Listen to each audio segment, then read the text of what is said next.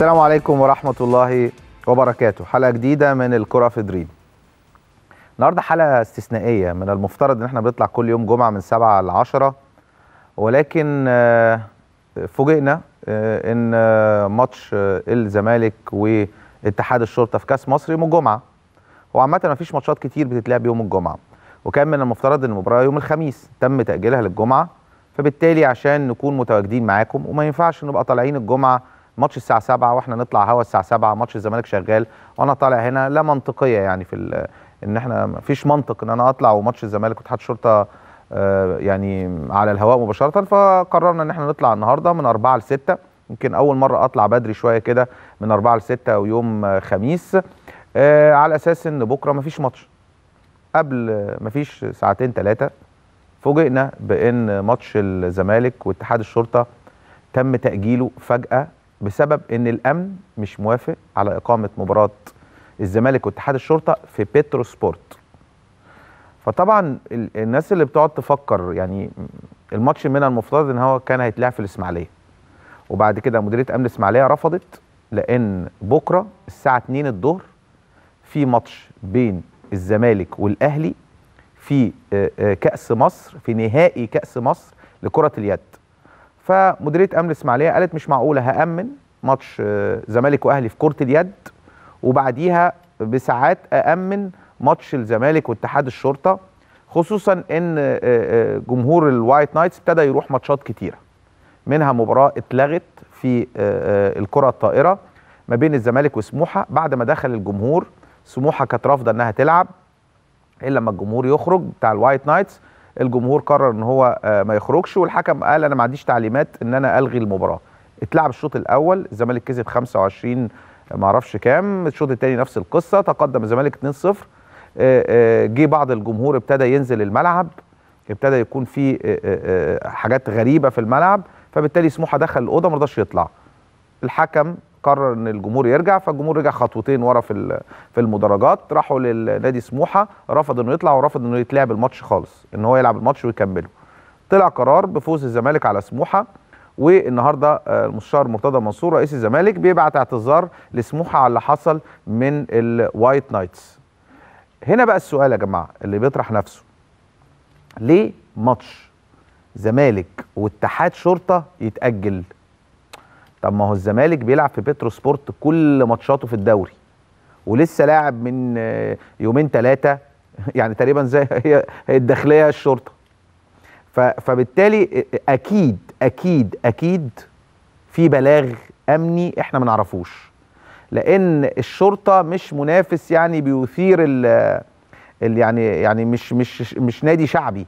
ونفس القصة بيترو سبورت دايما بيستقبل مباراة نادي الزمالك فما فيش مشكلة مع الأمن لتامينها هل بقى يوم الجمعة إن ده يوم أجازة مع إن الأمن كان موافق هل في إخبارية بأمور قد تحدث في مباراة الزمالك واتحاد الشرطة؟ معانا الحاج عامر حسين رئيس لجنة المسابقات.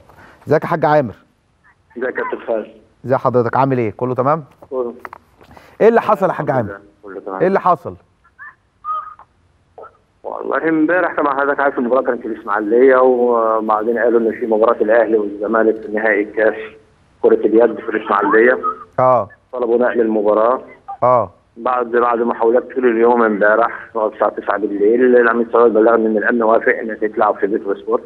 امم نقلناها بيترو سبورت. النهارده الصبح الساعة 11 11 ونص كده العميد صلاح كلمني وقال لي إن ال- الأمن رافض إنها تتلعب بكرة في القاهرة في سبورت وكذلك مباراة الأهلي والجيش برضه الأهلي وحرس الحدود في الكاس برضه كانت في بيترو سبورت وبرضه الأمن آه، رفض لعبها في القاهرة. أيوه بس مباراه المباراة دي كانت من امبارح معروف إن الأمن مش موافق. يعني الأمن وافق على ماتش ال- الزمالك وما كانش موافق على ماتش الأهلي وتم نقل المباراة للسويس على ما أعتقد. تمام. آه إيه بقى؟ إيه إيه إيه إيه, إيه, ال- إيه, إيه, إيه, النهارده يعني إيه تعتقد إيه يا حاج عامر ولا أنت مالكش علاقة بالقصة دي؟ على أساس إن أنت عارف إن الزمالك على طول بيلعب في بيترو سبورت و... ولسه لاعب الداخلية أعتقد في بيترو سبورت لا والامن كان موافق لغاية بالليل والامن كان موافق. آه.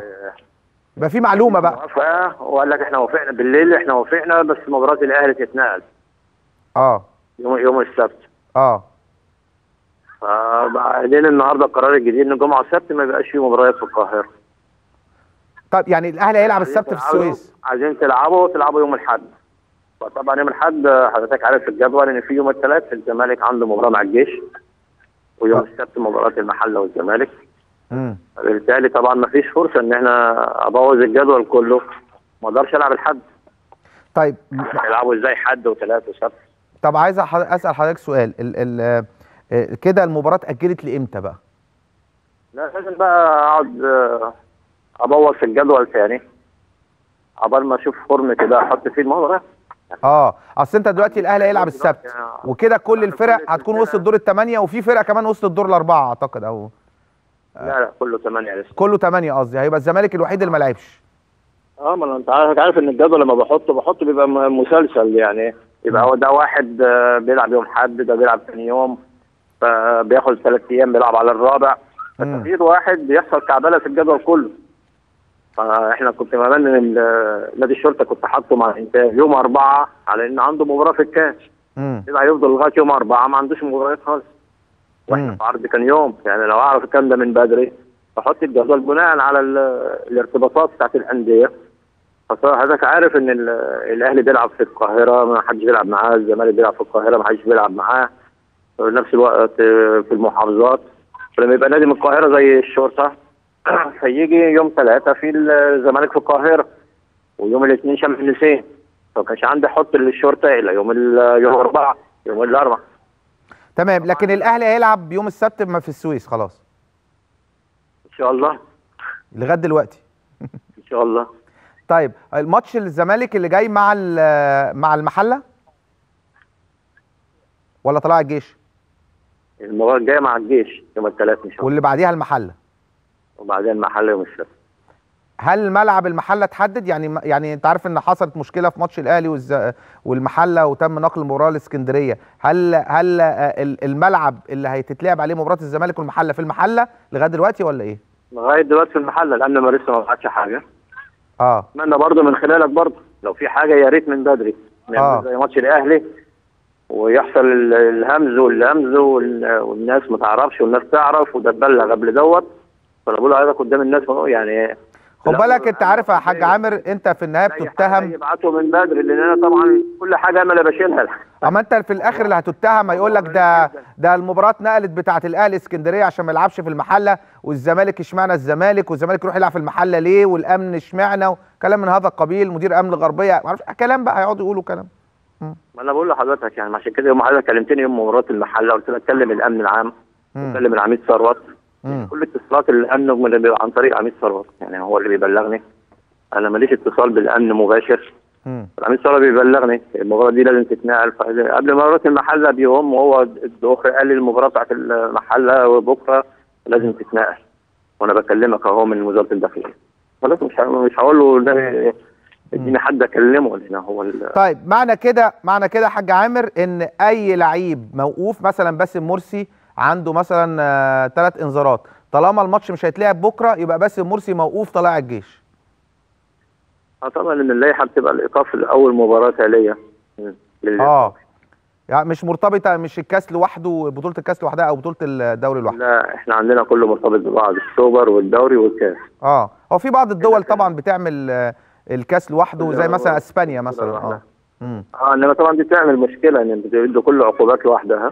آه. إنما طبعا عندنا مشكلة ما ينفعش يبقى حد بياخد عقوبة عمل حاجة مع حكم وفي الدوري تاني يوم يتلعب كاس. الحكم يليه قدامه أو العكس يعني. اذا باسم مرسي لن يلعب مباراة طلائع الجيش كده. والله أنا ما أعرفش مين اللي موقوف طبعا. ما هو باسم مرسي اللي موقوف آه لأن هو ما كانش هيلعب ماتش الشرطة بكرة. فكده طالما تم تأجيلها لأجل غير مسمى يبقى المباراة التاليه طلائع الجيش. فلا يلعب هذه المباراة. طيب هل هل في عقوبات على الكابتن حلمي طولان؟ آه كابتن حلمي توقف مباراة لأنه هو تعرض للتحكيم لل- للنقد إن هو كان في ضربة جزاء. آه، مش مش صحيحة. آه. بتاعت النادي الأهلي. فالمراقب تدخل اللائحة بتقول إنك أنت ما تتعرضش على هل معلش مع مع- حضرتك دايما بتقول لي تقرير المراقب؟ هل هل في في المؤتمر الصحفي المراقب أو الحكم بيحكي بيكتب حاجة ولا بيبقى شغله فقط داخل الملعب أو أو حوالين أوضة اللبس؟ لا حضرتك عارف دلوقتي المراقب ما بنخلوش يقعد فوق على المنصة بيقعد تحت ويطلع كل مدير فني لوحده. المراقب بس بيراقب ال- المؤتمر لو في تجاوزات ولا حاجة بيكتبها. وعشان كده المراقب بيحضر المؤتمر. مراقب الحكام ولا مراقب المباراة؟ المسابقات. آه هو اللي كتب إن الكابتن حلمي كان فيه تجاوز. آه لو تعرض للتحكيم لأن اللائحه لما حالة طيب. التعرض للتحكيم. هل هل هل يا حاج عامر آه، آه، يعني كل الناس شهدت آه، ما فعله حسام غالي في المباراة ما داس على صوابع أحمد نبيل مانجا وكان حتى كان زميله قبل كده في النادي الأهلي واتضايق جدا. هل أنت بتاخد بالفيديو دوت إن سلوك غير رياضي مثلا ولا لازم الحكم يكون شايفها وكاتبها؟ لا هي كانت قدام الحكم والمساعد كان قدامه بخطوتين. يعني وطبعا زي ما قلت قبل كده 100 مرة إن أنا ما بحكمش مكان الحكم. ال- آه آه. يعني يعني يعني يعني آه، حسام غالي قدام حس- المساعد ناحية المساعد آه. كابتن أيمن وكابتن أيمن كان قدامه.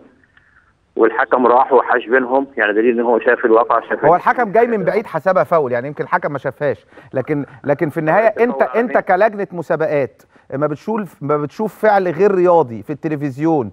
زي مثلا كرة اتلعبت فبيدوس بالاسترزات على إيد لاعب زميله أو لاعب الخصم. ده مش من حقك إن أنت تعمل عليه عقوبة.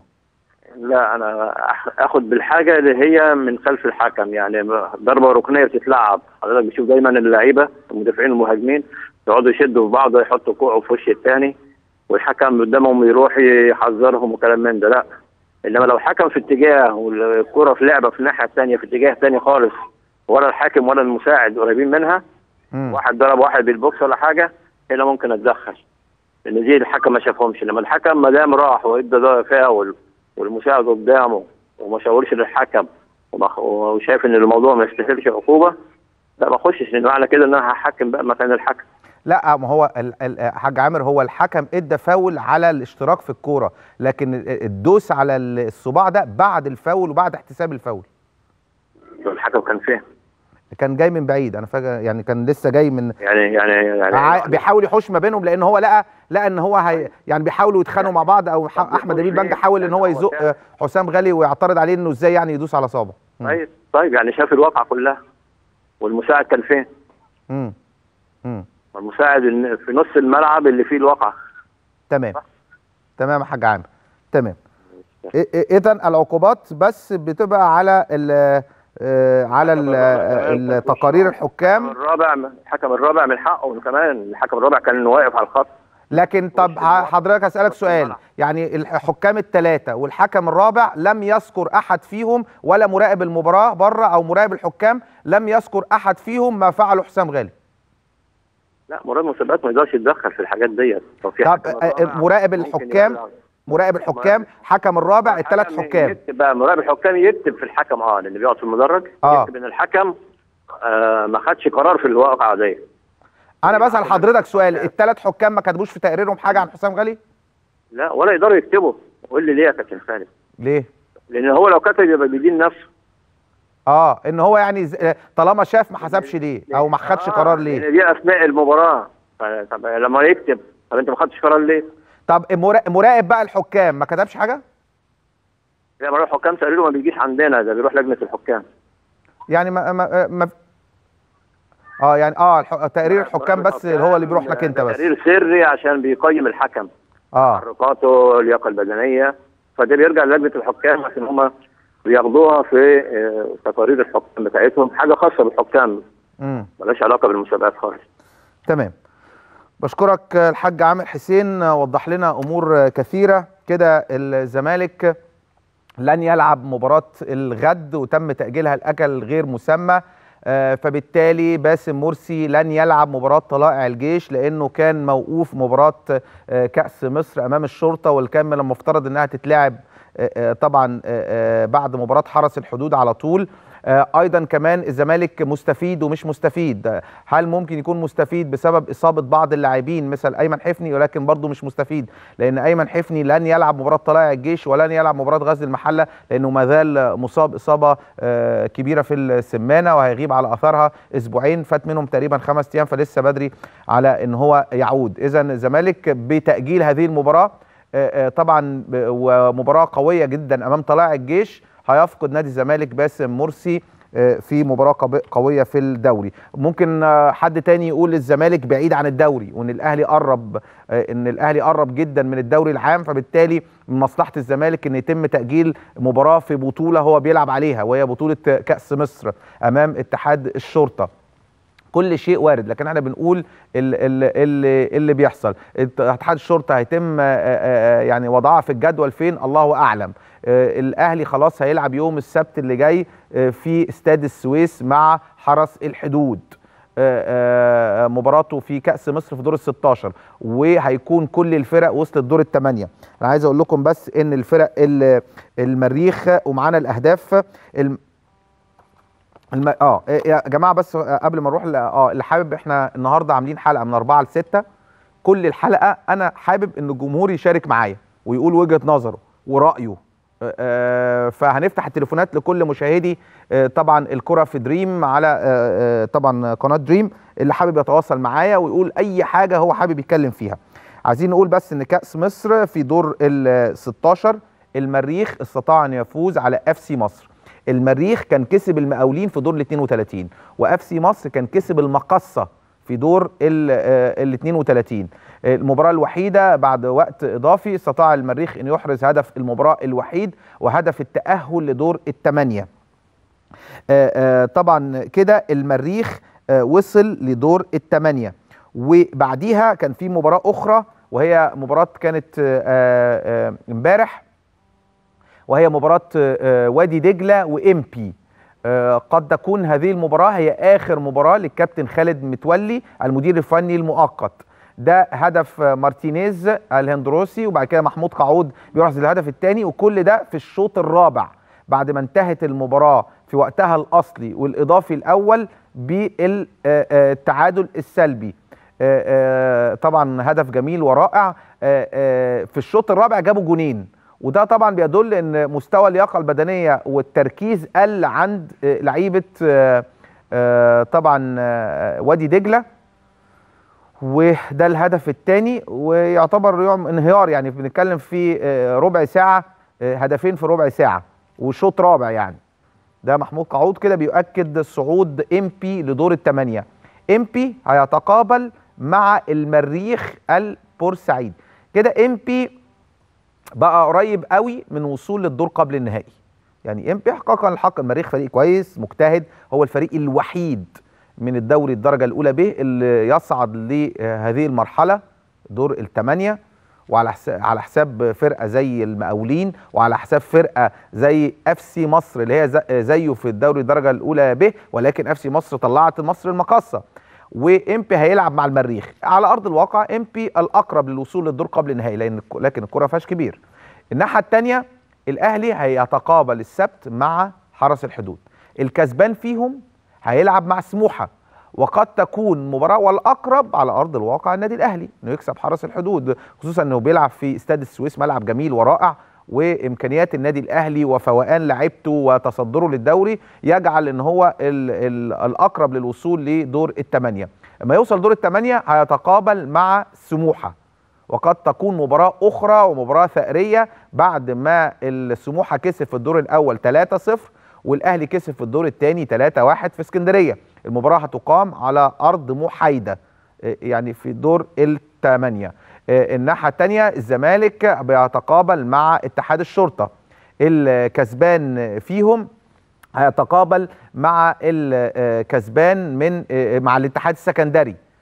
يبقى الكسبان من الزمالك واتحاد الشرطة هيتقابل مع الاتحاد السكندري. الكسبان فيهم هيتقابل مع الكسبان من المصري والإسماعيلي في دور الثمانيه يعني المصري والإسماعيلي فرقة شعبية هتصل لدور الأربعة وتنتظر اللي كسبان من الزمالك واتحاد الشرطة عشان يتقابل مع الاتحاد السكندري.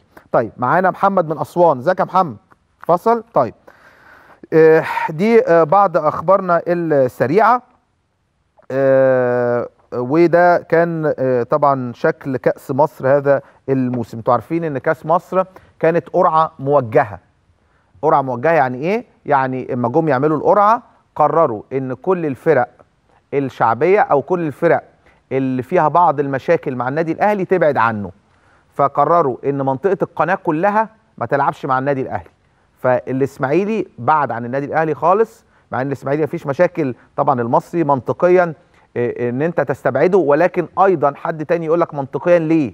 طب ما هو المصري اللي كده كده بتتلعب المباريات في أرض محايدة وكده كده المصري بيلعب مع الأهلي الماتشين مثلا وما كانش عنده مانع إنه يلعب حتى ماتشه في استاد الجيش ببرج العرب. ما عندوش مشكلة. والماتش التاني هيتلعب في استاد الجيش ببرج العرب. فبالتالي ليه بنبعد الأندية دي عن النادي الأهلي رغم إن ان إن عايزين نهدي الدنيا عايزين المياه ترجع لمجاريها. ما نقعدش نفكر الناس دايما ده الأهلي عنده مشكلة مع مصر ده الأهلي عنده مشكلة مع مصر. تعال نبعده عن الكاس. تعال تعال الاسماعيلي أصل قريب من مصر نبعده. تعال بتروجيت أصل بتلعب في طب ما بتروجيت بتلعب في السويس يا جماعة.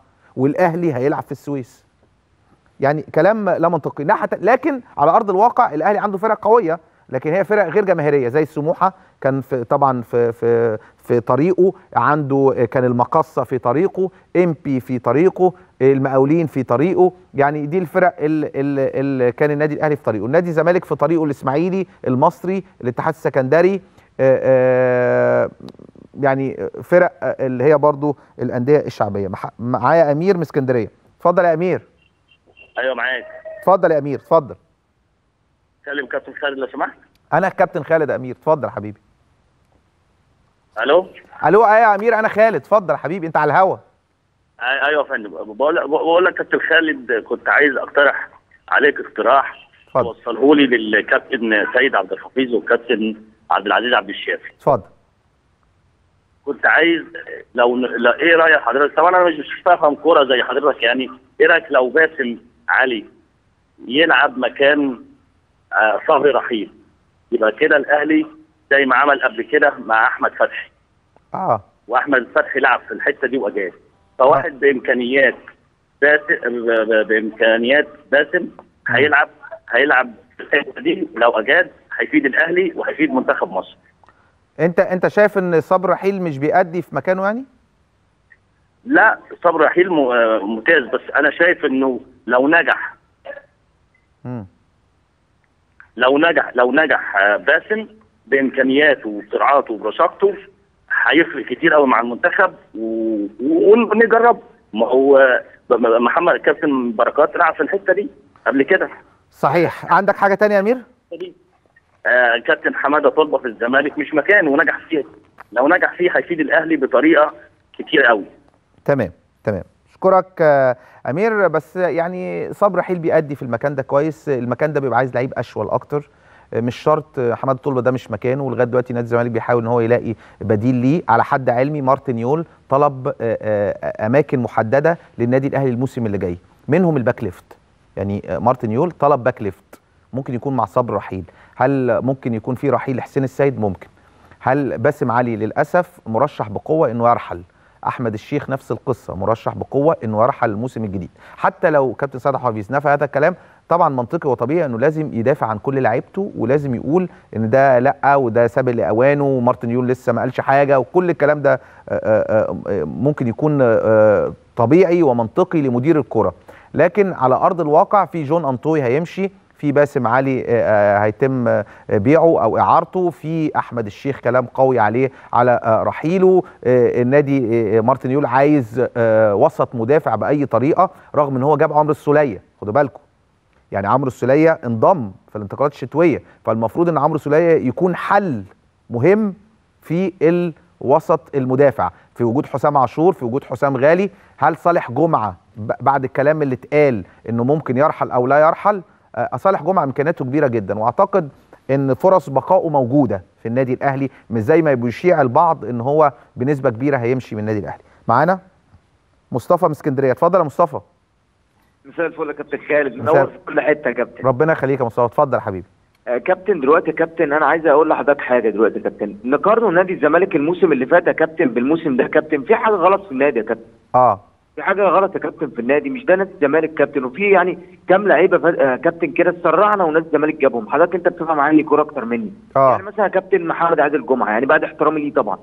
آه يعني مثلا إبراهيم عبد الخالق اللي جبناه بقد كده كابتن ما بيلعبش. آه إبراهيم صلاح مشيناه وس- وإسلام جمال مشيناه وإحنا محتاجينه على فكرة يا كابتن. آه، فطبعا يا كابتن ما ينفعش. وإحنا دلوقتي معانا مدير فني يعني أنا مش عارف الص- الصراحة يعني سيادة المستشار سايبه لحد دلوقتي إزاي؟ وإحنا داخلين على أفريقيا وإحنا لازم لازم ناخد بطولة. ما ينفعش الزمالك السنة دي ما ياخدش بطولة. وداخلين على كاس مصر الماتش اتأجل. فدي فرصة جيدة إن إحنا نعيد الن- النظر في المدير الفني الموجود. تمام. فكابتن لازم تتكلم في الموضوع ده. هكلمك دلوقتي لأن عندي أخبار مهمة جدا وحصرية عن نادي الزمالك. هقولها لكم دلوقتي. بس معايا محمد من أسوان. إزيك يا محمد؟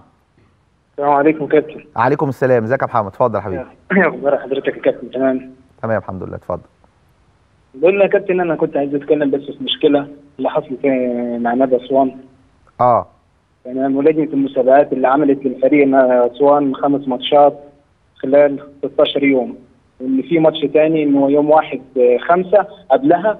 المفروض الماتش ده كان يتلعب في أسوان بتاع النصر البورسعيدي. طبعا والماتش مش هيتلعب في أسوان هيتلعب في هيتلعب في البورسعيد. وتاني حاجة يعني بعد ده كله المشكلة إن بيكلفوا النادي ثمن إقامة المباراة هناك. هيلعبوا خمس ماتشات. في 16 يوم؟ آه. ياه. وال- كتير والمهندس أوي. آه، والدكتور حسن عبد القادر قدم شكوى للحج عامر حسين.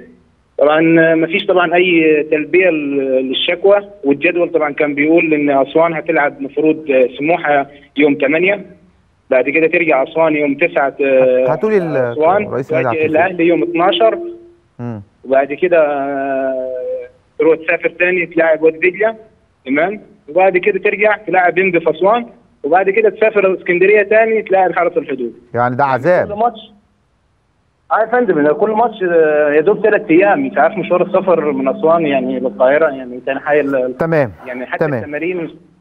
تمام تمام. وصل المعلومة محمد وهحاول أكلم طبعا رئيس نادي أسوان حالا دلوقتي لأن أنا عندي معلومة برضو إن نادي أسوان هدد بعدم إذاعة مباراة النادي الأهلي القادمة بسبب إن حقوق البث ما حس- ما خدهاش من نادي وادي دجلة أو من المسؤولين في نادي وادي دجلة لأن ماجد سامي كان مضى مع أسوان و و وقال إن هو آه، يعني هو اللي هيديله الفلوس بس هو ينضم للمجموعة بتاعته فأسوان وافق ومضى مع المهندس ماجد سامي ولغاية دلوقتي ما خدش مستحقاته. واسوان في عرض أي فلوس تجيله بعد ما كان عنده مشكلة مالية كبيرة احقاقا للحق وزير الشباب والرياضة وقف مع نادي أسوان ودفع له أعتقد مليون جنيه أو 2 مليون جنيه مش فاكر. عشان يستطيع إنه يكمل المشوار في الدوري العام. والسنة دي نادي أسوان عامل نتائج كويسة جدا مع الكابتن عماد النحاس ومع مجموعة من اللاعبين المميزين المعارين أو الكبار في السن ولكن كبار في آه، آه، إمكانياتهم وفي لعبهم داخل المستطيل الأخضر. وأحد أهم أسباب نجاح أسوان يا جماعة هتستغربوا ال 25 لعيب قاعدين في فندق واحد.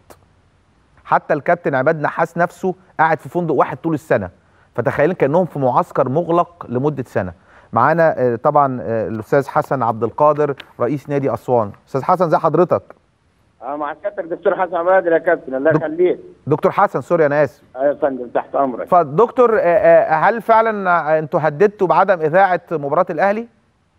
إحنا مش هددنا الحقيقة إحنا لو ما حصلناش على مستحقاتنا قلنا مش هي مش هتدخل كاميرات الاستاد آه. لا ده حقنا يا فندم. الناس بتتحصل على نسبها. وإحنا لغاية دلوقتي متاخر لينا دفعتين عند ال- الباشمهندس ماجد سامي وكلمناه وخطبناه عن طريق المراسلات يعني. آه. ولكن واضح إن هو عنده مشاكل أو ما شابه الله أعلم. أنت حضرتك بقالك آه، قسطين ما خدتش فلوسك من ماجد سامي اللي هو أيوة. اللي أنت مضيت معاه. ما أنت مضيت مع شركة وادي دجلة. وادي دجلة آه. وادي دجلة هي اللي تبيع حقوقك لل... للتلفزيون أو لأي حد. والله هي اللي بتبيع. أنا ما أعرفش بقى بتبيع لمين ولكن أنا ما عنديش تحت إيدي مستندات غير إن أنا متعاقد مع وادي دجلة. طيب أنت المفروض ليك قسطين. إيه القسط الأولاني كام والتاني كام؟ ثلاثة وأربعة يا فندم. يعني جملتهم يعني مليون ونص. مليون وكام؟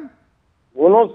مليون ونص تأخير. وطبعا مليون ونص ده يفرق معاك جامد جدا. لا أنا فلست فلست و- وللأسف يعني حتى مباريات الناشئين اعتذرت عنها وانسحبنا من تقريبا كل مباريات الناشئين. النهارده في القاهرة تم رفض شيك لينا كتبناه لل- للبنك وما فيش رصيد الحقيقة الودية والأول مرة واقعة تحصل يعني. مم. فأنا خاطبته بهذا الأمر يا باشمهندس كذا مرة يا مش ممكن أصل أنت هتدفع بكرة. فادفع النهارده يعني هنلاقي يعني النهارده أنا ما يعني النادي ما فيهوش فلوس فعلا يعني هنديره إزاي طيب يعني؟ طيب عايز أسأل حضرتك سؤال آه، يعني آه، إثارة المشكلة دي لتأخر قسطين ولا برضو بتستفيد من جماهيرية النادي الأهلي إن برضو لازم يبقى في حل عشان إذاعة هو هو. هو ما بيربح تقريبا إلا من المباريات الكبيرة الأهلي والزمالك. آه. يعني المبالغ الكبيرة والشركات تعلم هذا شركات الدعاية والإعلان صحيح. والرعاية. يقول لك أنا كل مبارياتك ما بكسبش فيها. ولو إن اسوان دلوقتي لها اسم وكل مبارياتها تتابع الحمد لله يعني بقى لنا اسم يختلف عن السنة اللي فاتت. صحيح؟ صحيح فمباراة الأهلي بالنسبة له دي معضلة. مباراة ولكن إحنا كرجالة ورجالة هنمنع فعلا وده حقنا الشرعي وحقنا الرسمي إن إحنا نمنع الكاميرات. ما لما نتحصل على فلوسنا الكلام ده مش تهديد ولا شيء. طب ما هو ممكن معلش مع احترامي يتقال لك يتقال إن آه، التلفزيون دافع مثلا لماجد سامي وإن المشكلة مش مع إذاعة المباراة هي المشكلة ما بينك وما بين ماجد سامي. لا لا لا لا لا حمنا حمنا حضرتك وأنا مستعد للتحقيق على أعلى مستوى. مفيش آه. حاجة اسمها دافع أنا ما وصلنيش. أنا ما وصلنيش الفلوس انتهى الأمر. أنا ماليش دعوة فلان ده. طب معلش هو ماتش الأهلي مع حضرتك إمتى؟ قدامه قد إيه؟ 12 يا فندم يوم 12 مايو. 12 مايو يعني إحنا بنتكلم في حوالي أسبوعين كده وشوية. أيوه يا فندم. طيب هل هل معلش يا دكتور يعني حضرتك ممكن يكون مجرد تهديد كده عشان الناس تتحرك ولا على أرض الواقع مليون في المية؟ لو ما خدتش فلوسك مش هتذيع الماتش. والله ما أخدتش فلوسي حامنع عربية الإرسال وحامنع الكاميرات وأنا لن أشاهد المباراة لأني هتكون هكون أحد الناس اللي موجودين على الأبواب. حضرتك حضرتك أقسمت بالله؟ أقسمت بالله ما هو تهديد ابدا دي فلوسي. آه. هتلاقي وأنا هلاقي فرصة تاني. يعني حضرتك بتقسم بالله إن لو مليون ونص دول ما خدتهمش قبل يوم 12 مايو أو قبل يوم قبل ماتش النادي الأهلي لن لن يذاع مباراة الأسوان والأهلي. أيوه طبعا طبعا طبعا طبعا. تمام. اخير حقنا يا فندم وإحنا بناخد حاجة مش حقنا. أنا طب أنا عايز أسألك سؤال. أنت عندك في 16 يوم كان أحد المتصلين من أسوان آه، بي- بيعاتب آه، لجنة المسابقات. 16 يوم هتلعب خمس مباريات؟ آه يا فندم إحنا والله أنا برضو دي قصة عجيبة يعني. كنت أنا يوم واحد في الشهر هلعب مع المصري في الاسماعيليه وهو الماتش بتاعي أنا. آه. مطلوب مني 50000 ومطلوب مني مش عارف إيه ومطلوب ده ثمن الأرض يعني تأجير الأرض. والأرض دي في الإسماعيلية. طب آه آه، يعني أنت حضرتك المفروض ماتشك فالمفروض المصري يروح لك أسوان بس بسبب إن المصري بيلعب كل ماتشاته في الإسماعيلية فأنت هتضطر تسافر من أسوان عشان تلعب الماتش على أرضك كأنه على أرضك في الإسماعيلية. أقول لي سيادتك داخل في نص الليل لأن بعد كده مباراة سموحة يوم 8 هرجع 8 بالليل. 9 أركب 10 اكون في أسوان. يعني الأهلي هيوصل قبل أسوان. الأهلي اللي هيلاعبني في أسوان هيوصل قبل حضرتك. أنت أنت بتتحرك من أسوان للقاهرة الاسكندريه. بالطيارة ولا بالقطر؟ لا لا إسكندرية القاهره ده أتوبيس. وبعدين بس أتوبيس. يعني بتطلع من أسوان لإسكندرية أتوبيس؟ لا لا لا لا يا فندم لا أنا بقول إسكندرية آه، القاهرة أتوبيس. آه. وبعدين بركب بقى إذا كانت مواصلة طيران أو قطوره القطر بيوصلني تاني يوم يعني من 9 يبقى 10 آه. طبعا يوم يوم 8 ده انتهى لأني هطلع من هناك الساعة 10 من الإستاد. آه. المباراة الساعة 6 6 ونص ما على ما يعني يخلص. تمام تمام. آه. بشكرك دكتور حسن عبد القادر رئيس نادي آه، طبعا أسوان. آه، آه، مش مهددا أقسم بالله إن فلوسه لو ما خدهاش من شركة وادي دجلة قبل ماتش النادي الأهلي لن تذاع مباراة النادي الأهلي على الهواء مباشرة وسيمنع دخول عربية التلفزيون وهو نفسه مش هيشاهد المباراة لأنه هيكون واقف على البوابة بيمنع أي حد يدخل يذيع المباراة. وده أقسم بالله وعلى فكرة الصعايده لما بيقسموا يعني ما فيش هزار. حد يقول لي أي حد تاني بيقسم؟ في ناس بتصوم ثلاث أيام. طبعا القسم بربنا ده حاجة كبيرة جدا. فبالتالي آه، يعني ده كلام نهائي بالنسبة لنادي أسوان. معانا؟ أحمد؟ أحمد من المنوفية. اتفضل يا أحمد. يا كابتن إزيك يا أحمد؟ اتفضل يا حبيبي. عامل إيه يا كابتن؟ الحمد لله تمام. اتفضل. ممكن بس أقول حاجة بعد إذنك يا كابتن؟ ما أنت بتتصل عشان تقول. اتفضل. ماشي يا كابتن أه بقول لك علشان فكرة حابب المهالك ربك وطنك ثم الزمالك. بص يا كابتن اللي لسه بيقول لك الدوري في الملعب الدوري الأهلي خده الدوري لسه في الملعب يا كابتن. هم بي بيشتتوا عقل الزملكاوية والجماهير واللعيبه والكلام ده كله. يا كابتن برشلونة الأهلي مش زي برشلونة. مم. برشلونة خسر ثلاث مباريات وكان الفرق كبير ولسه الدوري في الملعب بين برشلونة وأتلتيكو آه. وريال مدريد. يمكن بس يا أحمد عشان خاطر ماتش سموحة كان من الماتشات اللي ممكن الأهلي يخسر فيها نقاط لأن في اسكندرية والأهلي استطاع إنه يفوز في هذه المباراة. فيمكن الناس ابتدت تقول برضو إن كل مباراة بتعدي الأهلي بيقرب وهو طبيعي ومنطقي إن الأهلي يكون أقرب لأنه فارق 11 نقطة. يا كابتن ماشي أنا معاك بس إحنا بنقول إيه؟ إحنا بنقول إيه؟ ربنا عرفوه بالعقل محدش شافه. بس إحنا بنقول دلوقتي هم بيشتتوا فينا والاهلي خد الدوري والاهلي مش عارف إيه. وفي آه، إعلامي كده مع احترام لحضرته بيقعد يقول مش عارف إيه وأنت يا كابتن على دماغنا وأنت الناس كلها بتحاربك وأنت راجل محترم وكل حاجة. بس الناس كلها دلوقتي عمالة توقع في الزمالك. فالزمالك أقوى من أي حد. والله الزمالك أحلى فريق في مصر. أنا أنا لما الزمالك بيخسر أنا والله ببقى مش مش في حالة طبيعية بس إحنا دلوقتي لازما نتعلم من الناس اللي بره. يعني من تمام. نقول الدوري نقعد نرغي في كلام والدوري الأهلي تمام يا أحمد تمام يا أحمد. آه، طبعا الكرة ما فيهاش كبير والكرة ما لهاش آه، طالما لسه في أكتر من 10 أسابيع فبالتالي كل شيء وارد في كرة القدم. ما فيش حد آه، آه، يعني ما فيش حاجة اسمها محسومة. لكن إحنا بنقول إن الأهلي أقرب. آه أقرب طبعا وطبيعي ومنطقي لأنه فارق فارق كبير مش فارق قليل لكن كرة القدم ما فيهاش مستحيل زي ما بيقولوا في وكرة القدم بتشهد المعجزات في بعض الأحيان. آه عايزين نقول بس آه آه آه، معلومات مهمة جدا عن النادي الزمالك واخبار نادي الزمالك. بس أنا عايز أقول كلمة بس آه عشان تعرفوا بس إحنا آه برنامجنا أو أخبارنا للأسف بعض المواقع اللي أشخاص فيهم بينتموا للنادي الأهلي وكارهين لخالد الغندور أو أو آه آه آه آه آه بعض الأشخاص مش حابين آه آه آه آه إن البرنامج يبقى له صدى بس في نفس الوقت غصب عنهم غصب عنهم بياخدوا أخبارنا لأن إحنا الحمد لله بنعمل فريق العمل المحترم اللي عندنا والمعدين والصحفيين على أعلى مستوى اللي عندهم مصادر قوية جدا بنعرف نجيب أخبار حصرية وبنقولها. فتلاقوا ومع إن أنا أنا كخالد وفريق العمل بتاعي بنحترم كل المواقع.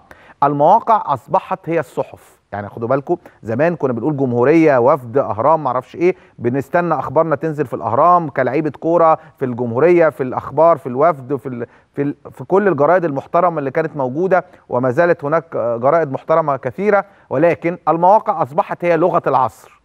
فما ينفعش أنت كموقع أنا أذكر اسمك. في مواقع كتيرة بنذكر اسمها. موقع زي اليوم السابع بنحترمه جدا. موقع زي مثلا آه، في الجول. موقع زي يلا كورة آه، كورابيا مواقع الأهلي مواقع الزمالك الكبيرة.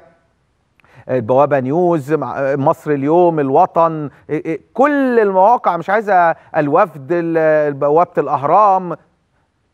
الفريق طبعا مو- موقع الفريق موقع كبير وجديد ومحترم. يعني كل المواقع دي بنحترمها. بس ما ينفعش يا جماعة ها أقول مثلا خبر وخبر حصري يكون معايا تليفون فيتقال خبر ويتقال من غير يذكر القناة من غير ما يذكر البرنامج ولا اسم المقدم. أو في بعض الأحيان ما بيذكروش حاجة خالص. تلاقيها بعديها بعديها خبر تاني يذكر اسم الإعلامي واسم القناة واسم البرنامج. عشان بعض اللي بيشتغلوا في المواقع دي بيروحوا ضيوف للإعلامي دوت أو بيروحوا آه، صحاب المعدين دول أو أو أو. لازم نحترم جهد الناس زي ما إحنا. بنذكر دائما المواقع أصحاب المصادر. لابد إن أنتوا تحترموا البرنامج. أي برنامج الواحد بيقدمه لابد ان أنتوا تحترموه وتقولوا إيه الأخبار. لأن أنا بعد كده هصدر ده للناس.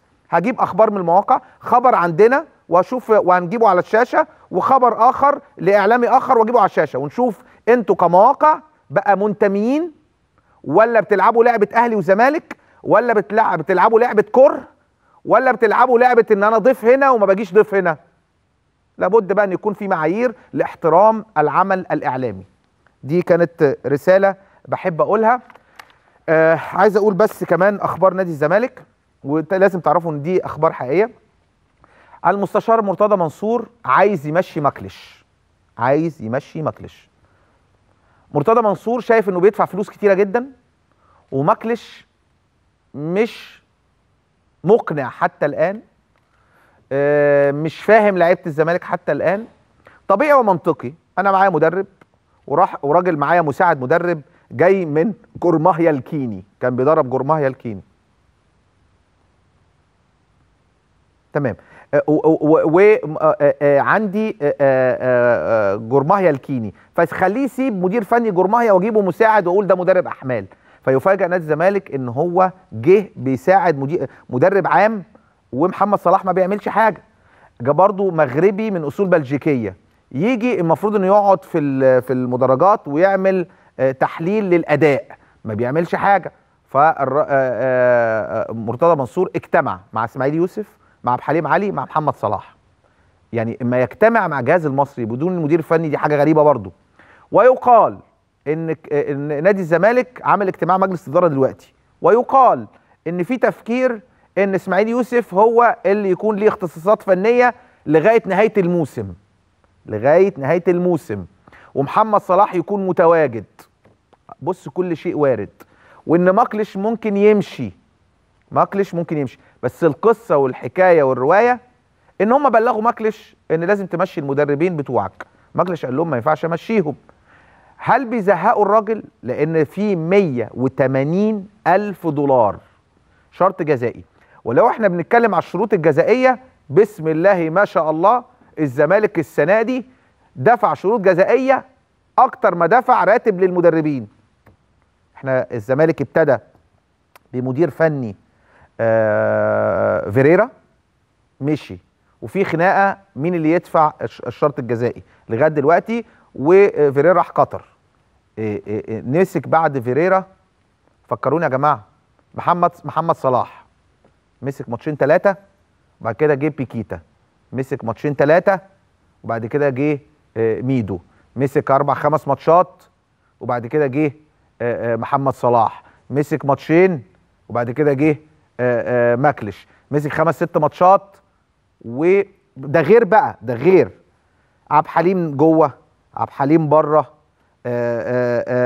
إسماعيل جوه. إسماعيل يقعد في المدرج إسماعيل يقعد في الدكة إسماعيل يسافر قبل الفرقة. اسماعيل يرجع مدير فني كل ده آه، عبد الحليم يرجع آه، عصام مرعي يمشي عصام مرعي يرجع آه، أشرف قاسم موجود أحمد عبد الحليم يرجع. حتى على على على قطاع الناشئين اتغير ناس كتير قوي رؤساء قطاع. حازم إمام يجي حازم إمام يمشي. فهنا عدم الاستقرار ده والتغيير الدائم ده في بعض الأحيان بيجني ثماره. إما تكون السنة اللي فاتت بتغير وفي نفس الوقت عندك لعيبة جعانة. كورة. عندك 18 لعيب لسه جايين أول مرة في حياتهم يشوفوا نجومية. يلعبوا في نادي في قيمة ونجومية الزمالك. عندك لعيبة كانوا بياخدوا 100000 150000 300000 400000 500000 600000 أقل واحد دلوقتي بياخد له مليون و200 و2 مليون و3 مليون ومليون 2 مليون في السنة. فكانوا برضو عايزين جعانين برضو إن هم يستطيعوا إن هم يحصلوا على المادة ويحصلوا على الشهرة ويحصلوا على النجومية. فكانوا كلهم في بوتقة مع مدير فني اسمه فيريرا. بيحبوه علاقتهم بيه كويسة. غير طبعا كان في مديرين فنيين قبليه يعني قبليه. ولكن هو استمر تقريبا آه، آه، آه، دور تاني كله بأفريقيا بي بي بي فهنا الوضع اتغير. اللعيبة بقت نجوم. اللعيبة خدت فلوس كويس السنة اللي فاتت. بقى اللي ما كانش عنده عربية جامدة بقى عنده عربية اللي ما كانش عنده شقة بقى عنده شقة. الوضع اتغير. الاهتمام بالشكل بقى أو بال, بال بقى أكتر من الاهتمام بالتدريبات بال بالعطاء في الملعب بي بي بي اتغير. غير بقى إن نفسية اللعيبة بع- بعد اللي بيحصل من الإدارة في بعض الأحيان بيبقى عليهم ضغوط أكتر ما عليهم ضغوط إن هم يحافظوا على الدوري وعلى الكاس. فالموضوع اتغير تماما. الزمالك عنده بطولتين بإيده ياخدهم زي كاس مصر زي بطولة أفريقيا للأندية أبطال الدوري. الزمالك كمان عشان نكون منطقيين. الزمالك غير لعيبة. كل اللعيبة محترمة وكويسة. أنا ما أقدرش أقول على أي لعيب وحش أو آه، لكن في لعيبة أقنعت وفي آه، في لعيبة لم تقنع. فما بنيجي نقول محمد عادل جمعة. كان لعيب كويس جدا في المصري. وأحمد سمير كان بيلعب وبيأدي مع الزمالك رغم إن هو مش back left. فقرروا إن يمشوا أحمد سمير إعارة ويجيبوا محمد عادل جمعة وشريف علاء. شريف علاء لم يقنع مشي وراح بتروجيت. محمد عادل جمعة يلعب ماتش وحمادة طلع بيلعب عليه خمس ست ماتشات. يلعب ماتش ويلعب ست ماتشات. فأحمد سمير لو كان فضل لو كان فضل مثلا ما هو إحنا بنتكلم ما حدش بيعرف الغيب. بس هو كان في أمل إن محمد يكون أفضل من أحمد سمير. لو أحمد سمير فضل زي السنة اللي فاتت فأحمد سمير في الحتة دي كان مقنع أكتر من محمد عادل جمعة. طيب نرجع تاني ليه مثلا أحمد حسن مكي محمد سالم تم شرائهم. كان مقنعين أكتر مثلا أحمد علي أحمد عيد عبد الملك أحد أهم أسباب فوز الزمالك بالدوري. رحيل لأنه كبير في السن. عندك حمادة طلبة كبير وبقى. كان ممكن أحمد عيد يكمل. أحمد علي آه، عنده بيعرف يجيب جون. وما بيلعب في نادي كبير بيعرف يجيب جون. ف وبعد كده كل دول مشوا جبت مايوكا. مايوكا لم يقنع. باسم مرسي بسم الله ما شاء الله. يعني عالمي السنة اللي فاتت. السنة دي حصلت له مشاكل وخناقات مع رئيس النادي وبعد كده يرجع وبعد كده يتوقف وبعد كده يعني لو إحنا بنقول باسم جاب جونين ثلاثة بسبع نقط. يعني باسم إيه، إيه، واحد صفر واحد صفر مش عارف واحد واحد الثلاث اجوان بتوعه بسبع نقط. يعني فوز اتنين فوز كان هو السبب فيهم وتعادل. فاعتقد كان تعادل إيه وادي دجلة؟ ولا كان مين؟ مش فاكر. طيب فبالتالي فبالتالي فبالتالي آه، آه، آه، باسم مؤثر جدا وجاب جون عالمي ولا أحلى ولا أروع واحقاقا السنة دي يعني جوان الدوري حاجة يعني رائعة. يعني في أهداف حاجة جميل باسم مرسي عالمي عاشور الأدهم عالمي دونجا جاب جون عالمي مؤمن اسمه ده صلاح أمين جون عالمي.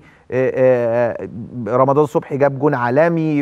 آه، نتكلم في جوان عمرو بركات جاب جون عالمي. آه، شيكابالا جاب في إمبي جون عالمي. يعني في جوان يا جماعة آه، آه، إيفونا في النادي الزمالك جاب جون عالمي. لا في جوان جميلة جدا جدا جدا هذا الموسم في الدوري العام المصري. دي كانت أخبار نادي الزمالك وده اللي هنشوفه الفترة اللي جاية. إيه اللي هيحصل؟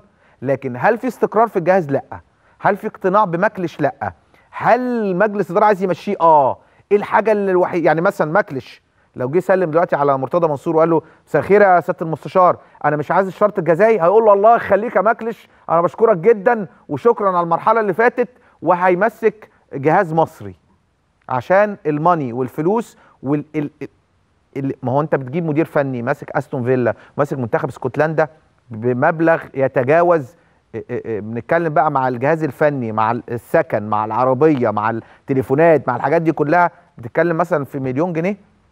مليون جنيه في الشهر. هل المليون جنيه اللي بيدفعوا هو نفس العطاء اللي بيديه مكلش في الملعب؟ هل حصل تغير في الأداء؟ مكلش عنده مشكلة كبيرة جدا إن هو بيبتدي يغير في الدقيقة حاجة و60 أول تغيير ليه؟ يعني هو صبور جدا جدا وبيبتدي يغير في أول تغيير ليه. الماتش اللي فات كان كان من أهم أسباب برضو تغير الجماهير على مكلش ورغبتهم في تغييره خصوصا إنه لعب بثلاثه وسط مدافع أمام حرس الحدود ولم يكن الزمالك مقنعا. طيب دي كانت أخبارنا عن نادي الزمالك. معانا محمد من القاهرة. اتفضل يا محمد. ألو. محمد. هشام اتفضل يا هشام. أنا إزيك يا كابتن خالد إزيك يا هشام؟ اتفضل يا حبيبي. ازي حضرتك. دلوقتي يا كابتن خالد انت بتتكلم على الزمالك على فريق فرقة كورة. آه. انت ناسي الألعاب الثانية بتاعت نادي الزمالك. فرقة اليد فين؟ فرقة السلة فين؟ فين تنس الطاولة فين؟ يعني ما الزمالك مش كورة بس يعني فرقة نادي الزمالك نادي كبير. يعني انت طبعا اليد خد بطولة الدوري و و وعنده بكرة نهائي كاس أمام الأهلي. طيب يعني الزمالك مش كورة بس الزمالك نادي كبير. يعني هي مش كورة بس. فأرجوك سلط الضوء على نادي الزمالك كنادي. كنادي محترم. الراجل ال- ال- النادي ده فيه آه، يد فيه سلة فيه تنس طاوله طايره يعني آه، النادي نادي الزمالك نادي كبير مش كورة. أستاذ هشام آه، اسام طبعا هو حد قال إن نادي الزمالك مش نادي كبير ونادي الزمالك نادي كبير جدا وعنده ألعاب أخرى هم أبطال فيها في الدوري زي اليد و... آه.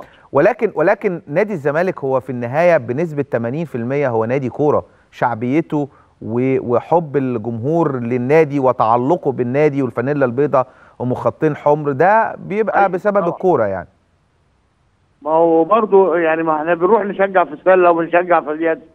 امم تمام يعني تمام. طيب ما إحنا بنسلط الضوء ما حدش إحنا بنقول أخبار عن نادي الزمالك المرحلة دي. تمام. أشكرك يا أستاذ هشام. طيب كان في آه، آه، آه، في ماتشين اتلعبوا في ماتشين اتلعبوا في ال Champions League. طبعا للأسف الماتش الأولاني في كان في نفس توقيت ماتش الزمالك. إحنا دايما بنحاول إن إحنا نتواصل مع الناس ومع الجمهور. ماتش الأهلي اتلعب الساعة 6 وكان ماتش آه، مهم جدا لجمهور النادي الأهلي مهم جدا للدوري العام فبالتالي كانت نسبة مشاهدته عالية جدا. اما جه ماتش الزمالك وخصوصا بعد ما الأهلي كسب يعني مثلا آه، آه، آه، آه، يعني لو الزمالك كسب هيبقى الوضع على ما هو عليه. فكانت نسبة مشاهدة ماتش الزمالك كانت أقل بسبب إن الأهلي كسب سموحة وبسبب إن في نفس التوقيت كانت مباراة مان سيتي وريال مدريد. وللأسف الشارع المصري بتشوفوه في الشاشة انت طبعا في قناة هي beIN Sports هي قناة مشفرة فبالتالي مش كل الناس عندها الإمكانيات إنها تشترك في القناة. وفي على فكرة حاجة غريبة جدا بتحصل الفترة دي beIN Sports إن هم بدأوا يبعدوا على قناة النايل سات أو تردد النايل سات بقى يروحوا لتردد آخر ويبعدوا آه، واحدة واحدة عن النايل سات.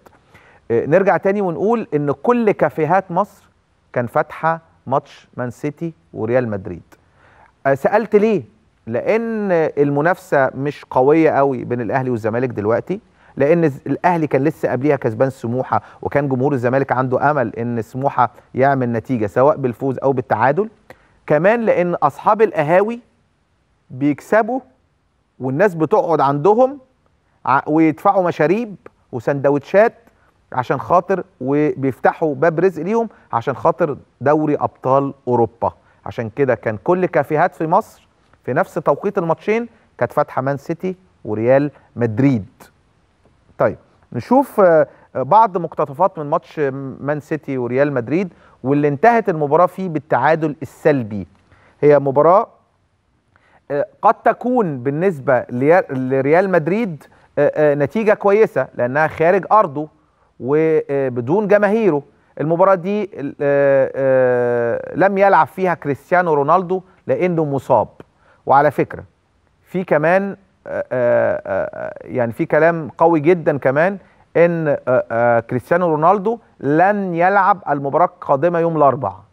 يعني بنسبة 80% آه، لو لعب هيكون بيلعب وهو مش يعني ما خفش مليون في المية أو 100% هيكون مصاب وهو بيلعب. فممكن يقعد على الدكة ممكن ما يلعبش خالص ممكن يلعب عشان هو كريستيانو رونالدو. مش عشان هو سليم. آه، طبعا آه، آه، دي مباراة دي دي حاجة غريبة جدا من بيبي ضيع هدف غريب. دي بروين ده طبعا اللعيب البلجيكي. لكن مان سيتي هل هو قادر مان سيتي إنه يعمل حاجة في مدريد؟ ممكن طبعا يعمل كل حاجة في مدريد. مان سيتي عنده لعيبة دي بروين عنده أجويرو عنده يايا توريه عنده لعيبة جامدة جدا. فالمباراة ما زالت في الملعب. هل ممكن نلاقي يا جماعة في نهائي أوروبا أتلتيكو مدريد ومان سيتي؟ والله العظيم ممكن. كل شيء ممكن في كرة القدم. ممكن نلاقي الاثنين في النهائي. ممكن نلاقي أتلتيكو وريال مدريد يعني اتنين من أسبانيا. ممكن. بايرن ميونخ مع جوارديولا بصراحة يعني جوارديولا بيتفلسف زيادة عن اللزوم. بيقعد ألابا يلعبه third back ويقعد مولر حاجات بيعمل حاجات غريبة جوارديولا ده. يعني وعشان كده آه، مشجعي بايرن ميونشن فرحانين جدا إن الراجل ده ماشي ورايح مان سيتي. والراجل ده عمل حاجة ما حصلتش مع بايرن ميونخ قبل كده. ثلاث مرات في الدور قبل النهائي ال- ال- آه، بايرن ميونخ يتغلب. وثلاث مرات متتالية يخسر السوبر الألماني. يعني يكون بطل دوري ويخسر من بطل الكاس السوبر الألماني. ففي الصحافة الألمانية قلب عليه قلبة. الماتش ده طبعا اللاعب اللي أنتم شايفين إن ده لاعب عنده 19 سنة 21 سور- سنة أسباني. وكان من المفترض انه في بداية الموسم هيطلع إعارة.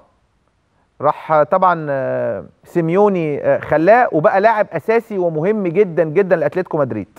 لعيب واخد الكرة من نص الملعب بص ترقيصه واحد اتنين و... وراح لامم وبتاع. لعيب كويس جدا. وفي بعيدة في مين بقى؟ في نوير. نوير اللي هو أحسن حارس في العالم. طبعا هدف هو بيقول إن ده أحلى هدف في مسيرته. طبعا هو عنده 21 سنة. يعني هو لسه بيبتدي المسيرة بتاعته. فيجيب هدف في الدور قبل النهائي في بايرن ميونشن ويفوز بيه آه، طبعا أتلتيكو مدريد. أنا بشوف إن السيميوني من وجهة نظري مع احترامي للجميع هو أفضل مدير فني في العالم. وعلى فكرة آآ آآ النهارده عيد ميلاده. 46 سنة. عيد ميلاد آه، سيميوني النهارده.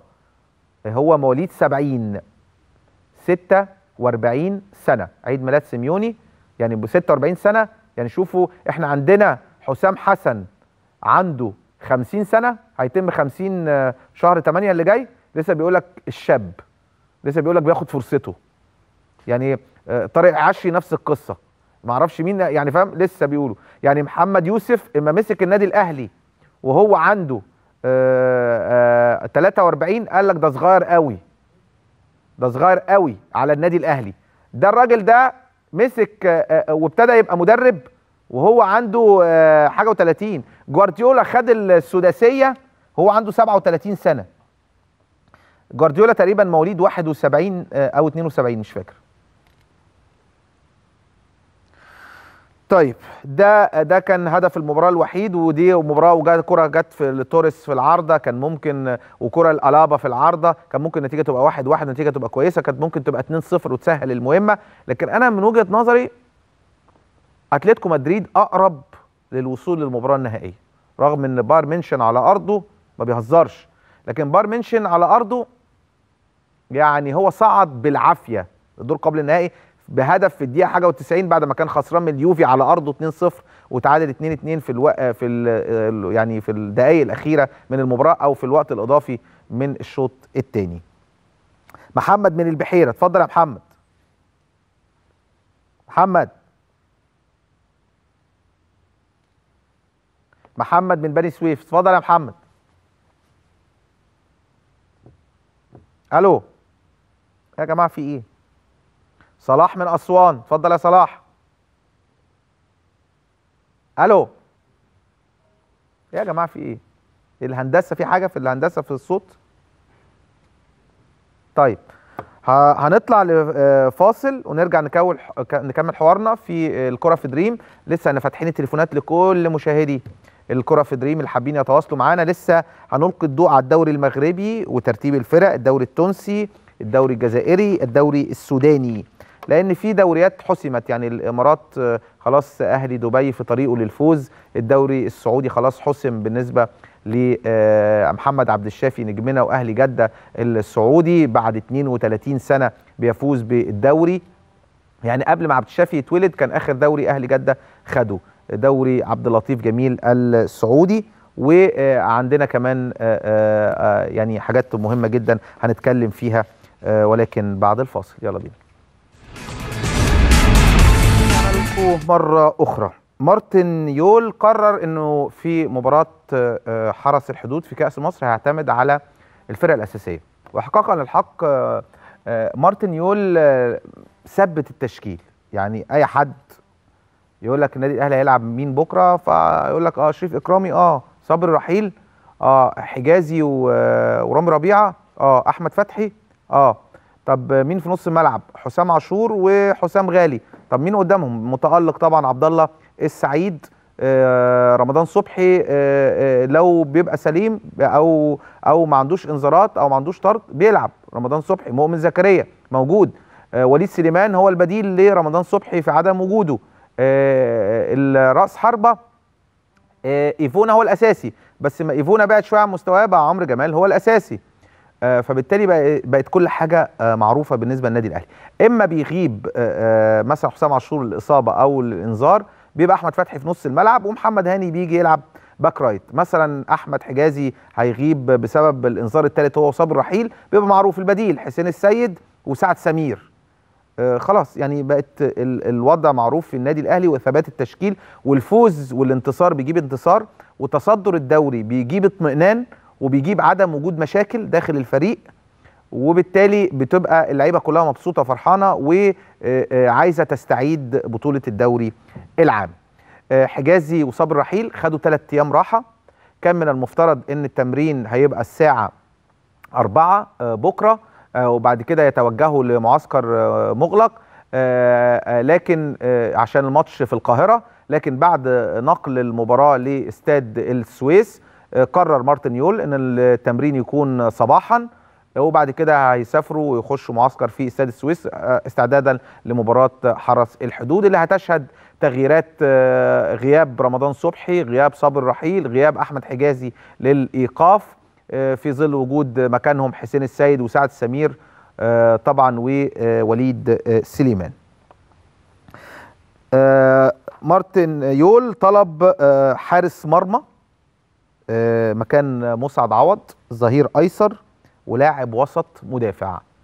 يعني آه، آه، زي ما بقول لكم طالما طلب ظهير أيسر يبقى في كلام على بقاء أو رحيل حسين السيد. طالما آه، طلب حارس مرمى يبقى في كلام على رحيل مسعد عوض هو الأقرب للرحيل. آه، آه، كمان آه، آه، وسط مدافع آه، رغم إن النادي الأهلي جاب عمرو السولية مازال برضو آه، عنده مشكلة في الحتة دي. عايز واحد زي حسام عاشور كده. آه، فكلام قوي جدا على دونجا. دونجا لاعب مصر المقصه إن هو يجي. ده ال- الفترة اللي جاية. زي ما قلت لكم الأقرب للرحيل جون أنطوي. أحمد الشيخ هنشوف هل هيستمر هل ممكن. طالما مارت ليون قاعد يا جماعة بصوا دايما المدير الفني ما يكون جه وعمل قناعات وشايفين إن هو ما بيدربش يعني جون أنطوي من أيام بيسيرو ما بيلعبش. ونفس القصة مع أحمد الشيخ. إما جه زيزو لعب شوية مع آه، زيزو جون انطوي وبعد كده قعد. وبعد كده إما جه مارتن يول جون انطوي ما لعبش وأحمد الشيخ ما بيلعبش ما لعبش غير في ماتش في كأس مصر أمام ديروط وجاب جونين وتألق. ولكن برضو بعديها ما لعبوش خالص. فمن الواضح إن الراجل مش مقتنع بادائه في التدريبات. أو مش مقنع أو شايف إن في ناس بتتمرن أحسن منه أو المكان بتاعه هو نمرة ثلاثة عنده. فده بيفتح الباب. لا إلا للرحيل لأني عايز أجلب لعيب أفضل بالنسبة لي ويكون مقنع للمدرب وده بيعطي انطباع مهم جدا عن مين سيرحل السنة الجاية عن النادي الأهلي. ليه؟ لأن مارتن يول عقده سنة ونص. يعني مارتن يول ما زال باقي الموسم الجديد. فقناعات المدير الفني اللي هو موجودة دلوقتي وبنشوفها قدام عينينا هي هتكون قناعاته السنة الجاية خصوصا لما باب يتفتح قدامه يبقى عنده فرصة لجلب لاعبين جدد ورحيل لاعبين هو بالنسبة له غير مقنعين إن هم يلعبوا في النادي الأهلي أو يلعبوا معاه في النادي الأهلي. آه، آه، فده اللي بقول لكم الباب بيتفتح أمام أكثر من لاعب للرحيل قد يبقى البعض فيهم وقد يرحل. بنتكلم على حسين السيد بنتكلم على محمد نجيب بنتكلم على باسم علي بنتكلم على أحمد الشيخ بنتكلم على جون أنطوي.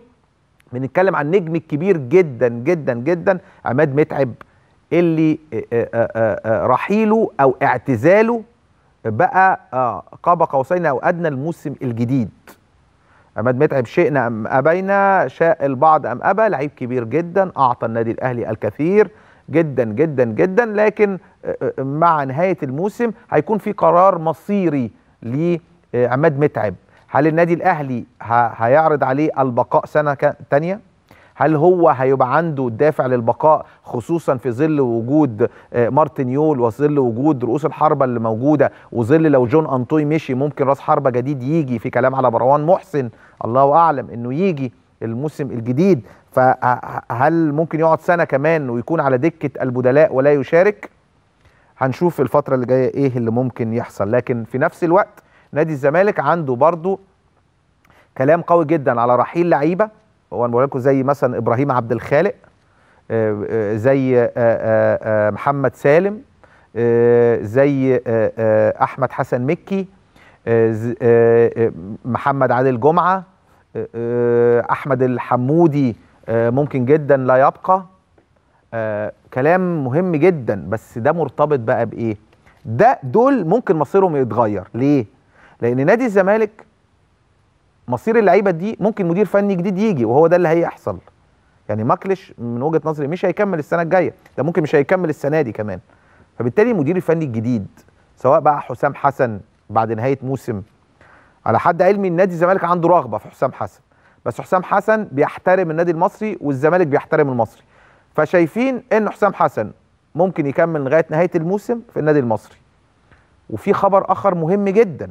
ابتدى يطرح على الساحة وهو عودة حسن شحاتة المعلم كابتن حسن شحاتة إنه يعود مرة أخرى لتدريب نادي الزمالك. وابتدى في قنوات تفتح لعودته لأنه من المدربين اللي بيعرف يتعامل نفسيا كويس قوي مع اللعيبة مع اللعيبة.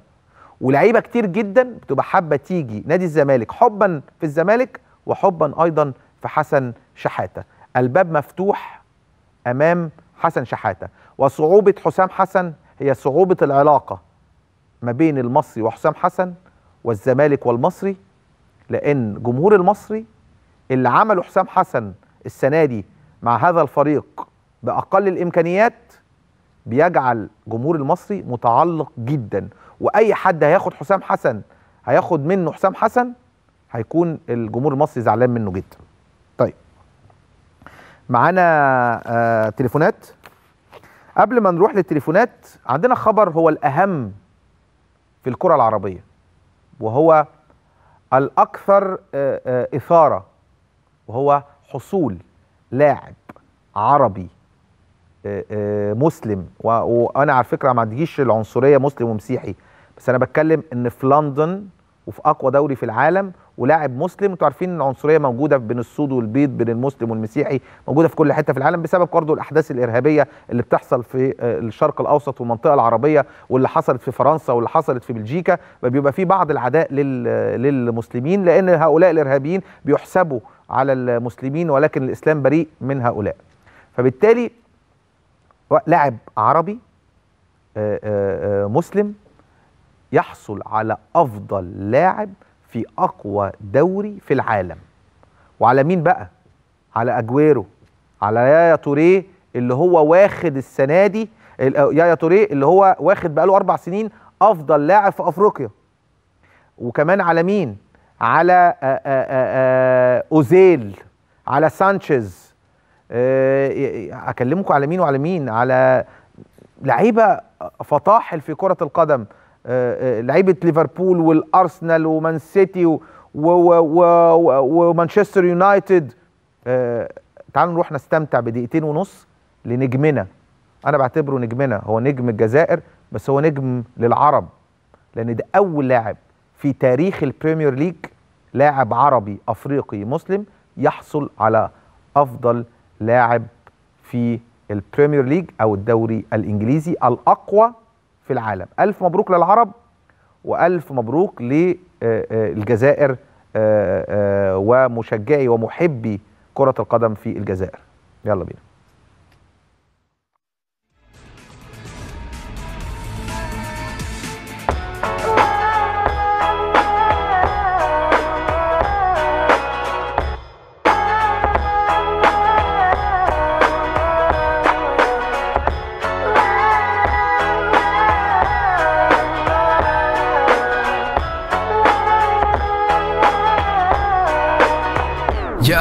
I ain't here for the money, I ain't here for the fame.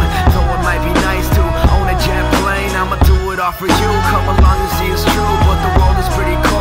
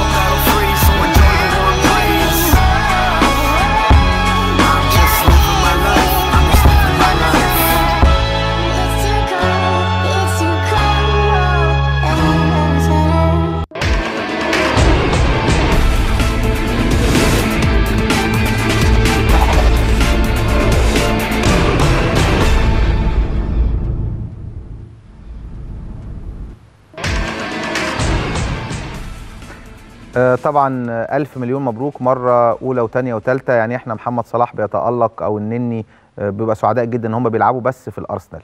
أو سعداء جدا إن محمد صلاح لعب في تشيلسي. أو سعداء جدا إنه بيتألق في روما. لكن إن ما تكون كمان بقى مش بتلعب ده أنت بتلعب في ليستر سيتي اللي هو فرقة كانت من سنتين في ال Championship دوري درجة التانية ومع ليستر سيتي تاخد دوري وتكون خامس أو سادس هدافي الدوري الإنجليزي. ومن أكتر اللعيبة اللي عملت اسيست تقريبا 11 آه، آه، باصة بهدف. واعتقد 17 هدف جايبه ولا حاجة زي كده محرز. حاجة حاجة حاجة لا منطقية. وتاخد أحسن لاعب في الدوري الإنجليزي كله. يعني ما تكونش حتى بتلعب في نادي كبير ده أنت بتاخد أحسن لاعب في الدوري كله. فحاجة فخر لينا كلنا كعرب يعني. طيب معانا تليفونات؟ طيب آه، حاولوا بقى تفتحوا التليفونات ولكن تعالوا نروح لل top 10 أحلى هدف هذا الأسبوع في الدوريات الكبرى أو اي حتة في أي حتة في العالم. بنجيب لكم دايما أحلى 10 أهداف نروح نتفرج على الاهداف ونفتح تليفونات لكل مشاهدي الكرة في الدريم يلا.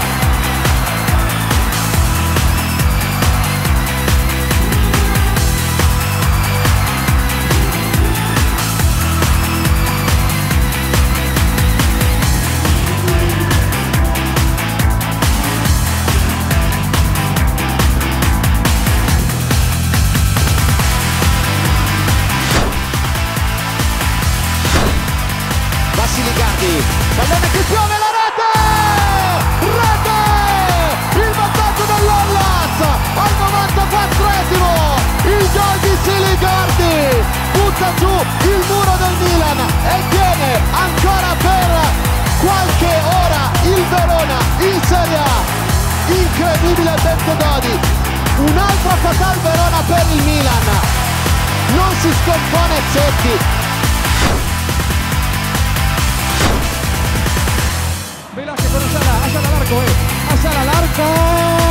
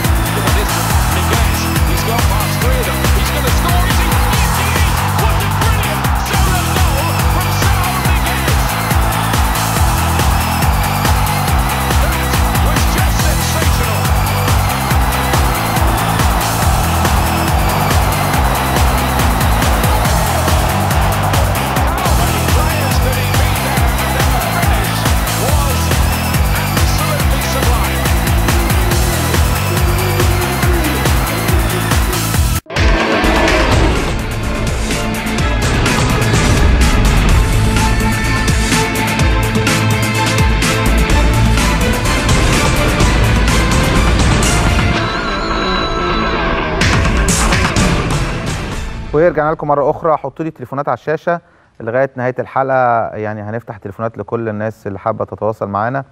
معايا تليفون مهندس محي. باشمهندس محي ازي حضرتك؟ ألو. إزيك يا باشمهندس؟ ازي حضرتك؟ إزيك يا باشا؟ الحمد لله تمام. اتفضل يا باشمهندس محي. اتفضل. والنبي بس أنا في عندي تعليق على الأمور اللي هي بتدور حول آه، حكم محكمة الاداريه العليا والردود اللي هي بيقوم بها أعضاء الاتحاد الكرة. للأسف الشديد يعني إنها شيء يعني متجاوز كل الحدود وكلام لا يليق آه، على اعتبار إن ده حكم نهائي وبات ولا يجوز التعليق على أحكام القضاء. يعني هم اولا ال- الدفوع اللي هم بيدفعوا بيها ويقول لك ما ده ما حصلش وإحنا مش مسؤولين و و و الكلام ده محله المحكمة وهم قعدوا ثلاث سنين ونص في المحكمة. وكان بيترافع عنهم 15 آه، محامي. وكان في محامي عن الجهة الإدارية وكان في محامي من هيئة قضاء الدولة. وكل الدفوع دي انقالت ثم بعد ذلك صدر حكم المحكمة. عندما يصدر الحكم فالحكم عنوان الحقيقة. ما ينفعش إنك أنت بعد الكلام ده كلته يطلع أحمد مجاهد ولا مش عارف إيه وأنا الحقيقة بستغرب بالذات من أحمد مجاهد. هو إيه علاقته يعني بالقانون عشان يبدأ يعلق على الأحكام بالشكل الفج اللي هو بيعمله ده؟ أحمد مجاهد الناس مش فاكرة ولا فاكرة إن هو كان آه ال- الاستاذ عصام عبد المنعم شطبه شطب نهائي من ممارسة أي نشاط في اتحاد الكرة قرار رسمي اتخذ اتحاد الكرة لأنه ضرب حكم. واخد بال حضرتك إزاي؟ فهو يعني عليه إن هو يراجع نفسه في القصة دي. تمام. نمرة اتنين إن إن الكلام اللي بنقال إن في جواب من الفيفا يقول لك إحنا ما قلناش. طلع الأستاذ آه، ثروت سويلم قال لك لا أنا اللي بعت وشايف إن ده ما فيش فيه مشكلة. طيب آه، النهارده أنت بتتكلم على إنه النشاط هيتوقف. طب ليه النشاط ما توقفش لما صدر تدخل حكومي وتم تعيين مجلس إدارة ال- النادي الأهلي بتدخل حكومي واضح وصريح. اللي أصدر القرار بتاع تعيين مجلس إدارة النادي الأهلي هو الوزير ونشر في الجريدة الرسمية وده تدخل حكومي واضح جدا جدا جدا ما فيش فيه تلت التلاتة كام. ولا عشان خاطر معاه الدكتور حسن مصطفى ومعاه مش عارف إيه. ثم ثانيا كيف يجوز للأستاذ هشام حطب إن هو يبقى بتاع اللجنة الأولمبية ورايح يتداخل قدام المحكمة اللي بيقول لك ما تروحلهاش عشان يعمل استشكال في الحكم في محكمة غير مختصة؟ يا اخوانا الكلام ده ما ينفعش. واللي يقول لك النشاط هيتوقف. هم هم أحرص ناس على النشاط إنه ما يتوقفش. ده كلام تهديد وكلام ملوش أي معنى. ولا يمكن ابدا النشاط يتوقف لأنك أنت بتتكلم عن مخالفات تخص القانون العام مش تخص قرارات الفيفا. فهم لما النشاط هيتوقف هم هيشتغلوا إيه؟ هم لهم شغل غير كده؟ يعني هم أحرص الناس مش عشان خاطر مصلحة البلد لا عشان مصالحهم. فالمفروض إن الأمر يعني يتوقف. أنت بتدافع عن قضية معينة أنت حر دافع عليها. لكن التعرض لأحكام ال- ال- القضاء أمر غير مطلوب وغير معقول وكلام كله تلاقي بيقول هنا كلام يطلع القناه الثانية يقول كلام وكلام الحقيقة. تمام إن هو تمام. يتوقف يعني. أشكرك المهندس محي. وعلى فكرة يا جماعة يعني إحنا بنتكلم على قضية المفروض الاتحاد الكوره بيجي أربع سنين. الانتخابات بعد أربع سنين شهر تسعة اللي جاي. يعني مش عارف أنا يعني خلاص. أنا معانا مين؟ ألو؟ شريف إزيك يا شريف؟ اتفضل يا شريف. ازيك يا كابتن ازي حضرتك؟ الحمد لله تمام. اتفضل يا شريف. والله يا كابتن أنا شريف شعبان أه بشتغل في الأكاديمية الأولمبية. أه أنا أنا وأربعة من زمايلي اتوقفنا من شهر أه اتوقفنا عن العمل ومن حوالي 10 أيام تم فصل ال- الأربع موظفين أه بقرار مجلس إدارة برئاسة الدكتور خالد حمودة. آه، للأسف المجلس إدارة الأكاديمية من ثلاث سنين عامل يعني عامل للأكاديمية يعني موقف كل النشاط اللي فيها، الأكاديمية بي- بيتم فيها في السنة ما بين 10 أو 12 دورة بيجي فيها حوالي 600 أو 700 دارس في السنة. في الثلاث سنين دول من ساعة ما مسك رئيس مجلس إدارة الدكتور خالد حمودة في الثلاث سنين دول ما اتعملش أكتر من خمس أو ست دورات آه، حوالي أيوه بس معلش يا دكتور خالد حموم رئيس رئيس اتحاد كرة اليد حضرتك إيه إيه حضرتك اتفصلت ليه؟ والله هي كلها حاجات تعسفية. يعني اتقال أنا مثلا في التحقيق تحقيق ما خدش خمس دقايق إن أنا آه، منزل صور من على الفيسبوك إن أنا بشتغل في مكان تاني ومنضم لنقابة مستقلة. طبعا هو ما عندوش أي إثبات بحاجة زي كده والموضوع ده يعني عالي تماما من الصحة.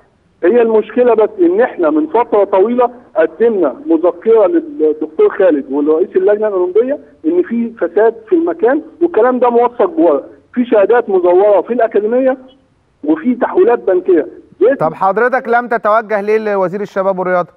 والله رحنا ما أقول لحضرتك على حاجة رحنا للوزارة في شهر واحد وفي شهر اثنين ومعايا نسختين من الشكوى آه، استلمتها آه، مكتب الوزير استلموها في مكتب الوزير شكوتين. رحنا حوالي 10 موظفين بسبب إن حوالي من ست أشهر تم خصم أكثر من ثلث المرتبات لجميع الموظفين. بدون أي وجه حق. يعني حضرتك تخيل ثلث المرتب من الموظفين أكثر من 800 أو 900 جنيه من المرتب كله. فبقى الناس كلها راحت اشتكت للوزارة ورحنا اللجنة الأولمبية ورحنا القوى العاملة. للأسف ما فيش أي رد فعل. فبعد ما طبعا رحنا أكثر من مكان بدأ الدكتور خالد يعمل آه، آه، وقفه عن العمل للناس ويبدأ يضغط على الناس. وفي ناس قدمت أجازات خوفا من البطش بيهم. وفي أربع موظفين حاليا من قوة 15 موظف في الأكاديمية. م- آه، اتوقفوا عن العمل وبعد كده اتفصلوا. تمام. اشكرك يا أستاذ شريف. أعتقد الرسالة وصلت. مش عارف الدكتور خالد حمودة في كرة اليد بالذات بقى آه، يعني في بعض الأحيان بقى مؤذي جدا جدا جدا مع أي حد يختلف معاه. مش عارف ليه. طيب يعني حتى ماتش الزمالك والأهلي في كرة اليد الأخير ده اختلف مع مدير أمن شمال سيناء وتم تأجيل المباراة أسبوع واتلعب بالمركز الثالث والرابع لأول مرة ولم تسلم الميداليات بسبب إن هو أجله لبكرة وهتتلعب في الإسماعيلية نهائي كأس اليد. مع- معانا منصور من الجيزة. اتفضل يا منصور. آه كابتن خالد ازي حضرتك؟ الحمد لله تمام. اتفضل. كابتن خالد أنا معلش هرجعك ورا شوية في نقطة كده. كنت حضرتك اتكلمت في عملت حلقة عن التعصب الرياضي وبتاع. وجبت محمد نصر على التليفون تمام؟ آه من فترة كده. فاكر الحلقة دي؟ تعصب رياضي؟ جبت محمد نصر المخرج على التليفون. آه. وعش... كنت جبت أعمل حلقة عن التعصب الرياضي وبتاع شغال في إعلام والكلام ده. فجبت محمد نصر محمد نصر قال لك لا أنا فعلا بنتمي للاهلي بس شغلي مش عارف إيه وكده. تمام. أنا شغال في نفس المجال بتاعك على فكرة مش بعيد يعني, يعني مش هقول لك الدنيا بس أنا في نفس المجال يعني. واخد بالك؟ ماتش الأهلي والزمالك كان محمد نصر المخرج. الاهلي الزمالك وهو داخل بيسلم على الولاد اللي كان الأهلي حاططهم عشان خاطر يسلموا عليه ده. آه الزمالك وهو داخل ما فتحش ال background بتاع الصوت خالص. تمام؟ أول ما الأهلي دخل راح فاتح للعيال ال background وأنا أفهم الكلام ده كويس قوي اللي هو ال channel الثانية راح فاتحها للبتاع وظهرت بقى الهيصة وهي وبتاع والكلام ده. ده اللي كان بيعمله لما كان بيخرج ماتشات في التلفزيون لما الأهلي بيجيب جون كان بيعمل إيه؟ والزمالك بيجيب جون كان بيعمل إيه؟ okay الموضوع ده أنا متأكد منه تماما حضرتك معلش يا أستاذ منصور حضرتك شغال إيه؟ أنا شغال في ما يعني شغال في مجال قريب منكم جدا. يعني تمام. يعني بلاش يعني أنت فاهم قصدي؟ بس أنا بس حبيت أوضح لك بس نقطة. إن أنا محمد نصر اعرفه شخصيا أنا كنت كان الأستاذ سيد الدومر زمان الله يرحمه حوله التحقيق. زمان كده كان الله يرحمه الأستاذ سيد الدومر كان ماسك البرامج الرياضية وحوله التحقيق فترة بسبب برضه حاجات من هذا القبيل يعني. مم. بس في نقطة ثانية بقى حضرتك أنا بس معلش أنا آسف يعني. اتفضل. آه عندي بنتي بتلعب 16 سنة volley في نادي الشيخ زايد. والزمالك طلبها ورحت آه، الناس عايزينها بس مش هيدفعوا فلوس. أنا طبعا بنتي متقيدة في الشيخ مم. وأنا في معاناة إن أنا مش عارف أمشيها من الشيخ زايد. أنا عندي بنت ثانية دبرو يعني البنت دي playmaker والزمالك عايزها بس أنا ما بدفعش. يعني بلاش أجيب أسماء عشان بس عيب يعني احتراما للناس يعني. فلو تقدر تشوف لي تشوف لي مشكلتي ده عادي. طب سيب تليفون حضرتك يعني أنت حضرتك عايز تودي بنتك الزمالك ومش عارف ت- هم مش عايزين يسيبوها يعني؟ أو لا هم هم الزمالك عايزينها هي راحت الزمالك فعلا وبتتمرن مع الزمالك. آه؟ يعني هو أنا مش بقول لك لسه هتختبر لأ. آه بس الشيخ زايد مش عايزين يسيبوها يعني؟ الشيخ زايد مش عايزين يسيبوها وأنا يعني أنت فاهم قصدي؟ مش يعني آه كنت عايز حد قالوا لي لأ مجلس الإدارة الكابتن بتاعها في الشيخ زايد قال لها قال الكلام مع مجلس الإدارة مش معايا. تمام أنا طبعا مش عارف بشكرك يا أستاذ منصور بس هو طبعا منطقه طبيعي لازم تباع الأول من النادي اللي هي بتلعب فيه لو الزمالك عايزها يدفع فلوس فيها لو حابب يعني يدفع فلوس فيها أو لازم يكون في مقابل مادي للانتقال على ما أعتقد. ما أعرفش النظام كرة الطايرة في الناشئين عامل إزاي يعني. طيب معانا مين تاني؟ عرفان من الجيزة. اتفضل يا عرفان. السلام عليكم. عليكم السلام ورحمة الله وبركاته. اتفضل. الحمد لله اتفضل. أنا رئيس مركز شباب عزبة مقور بالجيزة. رئيس مركز شباب إيه؟ عزبة مقور بالجيزة. عزبة مذكور بالجيزة. اتفضل. افتتح المركز السنة اللي فاتت في 2015 في عياد الجيزة وما كانش فيه مرافق. تمام. والوزير والمحافظ وعدوني اللي دخلوا لي المرافق المية والنور. تمام. ماشي؟ وأنا بقالي سنة بجري على آخري عشان أدخل مية والنور مش عارف أدخل ولا نور ولا مية. قالوا لي جيب رخصة. رحت المحافظة أجيب الرخصة جريت في ورق الرخصة في جريت في ورق الرخصة لمدة سنة. وبعد ما خلصت أوراقي كلها قال لي لا ده أنت ده, ده, ده, ده الم- المركز مخالف مبني في منطقة آه، مش تبع التنظيم. ماشي؟ قلت له طب أنا بنيته في يوم واحد تاني اتبنى في سنة. طب معلش معلش معلش عايز حضرتك سؤال. هو حضرتك اللي بيقول مبنى مخالف هو مين اللي فتح المركز؟ المحافظ وال- والوزير. يعني المحافظ والوزير جم حضروا افتتاح المركز؟ آه وصور وموجود انه كله وحضر. يعني هم جم حضروا افتتاح المركز يعني وزير مصر ومحافظ الجيزة وزير الشباب. الاثنين حضروا المركز وبعد كده في الآخر اتقال لك ده المركز مخالف؟ موجود في مكان مخالف. طب وهو يعني الوزير وهو جاي وهو محافظ الجيزة ما كانش عارفين إن هو موجود في مكان مخالف؟ وما كانش وفتح من غير مرافق حضرتك. طب أنا عايز أعرف إن الوزير جه والمحافظ جم الصبح بقى ولا إيه؟ عشان ما فيش نور ولا إيه؟ ما فيش ولا نور ولا مية. طب طب وإزاي بيتم افتتاح شيء وهو أساسا لسه المرافق ما دخلتلوش؟ قالوا لي خليل 48 ساعة ندخلك المرافق. بقى لي سنة الوقت ما دخلوش. 48 ساعة ندخلك المرافق ومفيش حاجة دخلت؟ ما فيش حاجة دخلت. ماشي؟ وحضرتك أنا جريت بالورق بقى لي سنة بجري وطلعت رخصة ومش عايزين ومش عايزين يطلعوا لي الرخصة. أنتوا أنتوا انت ال- المنطقة اللي انت فيها في الجيزة دي فيها كام واحد شاب بيلعب كورة أو؟ أنا عندي 50000 نسمة. أنا عندي 50 البلد اللي أنا فيها فيها 50000 نسمة. ومسا- ومساحة المركز قد إيه؟ ثلاث بلاد جنب بعض. مساحة المركز قد إيه؟ وعرب ابو اخترش وعرب وعده ب- بقول لك مساحة المركز قد إيه؟ مساحة المركز آه، في ملعب آه، خماسي ماشي ومبنى بتاع 1000 متر. 1000 م- يا 1000 متر بس؟ آه ما هو بالمبنى في ملعب خماسي والمبنى. تمام. حضرتك معمول متكلف 2 مليون ونص على حساب الدولة وفي أجهزة يا نهار أبيض. يعني الدولة كلفتها 2 مليون ونص والوزير والمحافظ جم فتحوا المركز. وبعد كده قالوا لك 48 ساعة هندخل النور والمية. مفيش ولا نور ولا مية. واتقال لك بعد سنة لما طلعت رخصة إن ده مخالف. يعني الدولة دفعت 2 مليون ونص والدولة بتقول لك ده مخالف. والدولة مش عايزة تدخل لك مية. والوزير والمحافظ جم فتحوا المركز. بسم الله ما شاء الله. بسم الله ما شاء الله. حاجة حاجة رائعة يعني. يعني ربنا يزيد ويبارك. ده بقالي سنة دلوقتي بجري على آخري ومش عايزين يدخلوا له النور. بشكرك بشكرك وأعتقد وزير الشباب والرياضة المهندس خالد عبد العزيز يعني مش معقوله يا باشمهندس حضرتك تفتتح مركز. مش عارف حضرتك بقى اللي كنت موجود من سنة ولا ما هو اللي حضرتك كنت موجود أكيد. والمحافظ أعتقد اللي هو وزير النقل الحالي محافظ الجيزة. لا كان محافظ القاهرة ولا الجيزة؟ مش فاكر. القاهرة آه. القاهرة محافظ الجيزة ما أعرفش أعتقد تم تغييره برضو ما السياده اللي هو كمال الدالي كان قبل مش عارف. بس هو مش معقول يا جماعة الوزير والمحافظ يفتحوا مركز ويكلفوه 2 مليون ونص ويقول لك المية والنور طبعا الوزير والمحافظ يقول لك مية ونور هيخشوا بقى يخشوا غير 48 ساعة. سنة وبعد كده يطلع إن المكان موجود في حتة مخالفة والقصة كلها 1000 متر. ده في ناس ساكنة في فيلل أكتر من 1000 متر. 1000 متر ده عشان يساع 50000 نسمة. ولا جديد. بندفع فلوس في الأرض يعني؟ مش عارف. معانا جمال من الشرقية. اتفضل يا جمال. ألو السلام عليكم. عليكم السلام. اتفضل يا جمال. كمال يا فندم مش جمال. كمال كمال. اتفضل يا كمال. اتفضل يا حبيبي انت على الهوا. السلام عليكم. إزيك يا كابتن خالد؟ الحمد لله تمام. اتفضل. آه، حضرتك آه، آه، طبعا آه، أنا آه، يعني بختار ال- ال- الهدف رقم ثلاثة ثلاثة أحلى هدف. ده ده هو هو ده أفضل هدف. تمام؟ تمام يا كمال.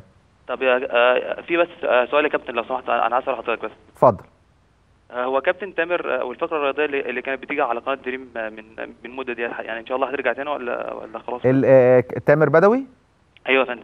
تامر آه هو تامر بيطلع معايا في قناة أخرى بس إن شاء الله بإذن الله يعني هيطلع معايا بيطلع معايا ساعات هنا في إن شاء الله لما يكون على نهائي ال Champions League هيكون طالع معايا إن شاء الله بإذن الله.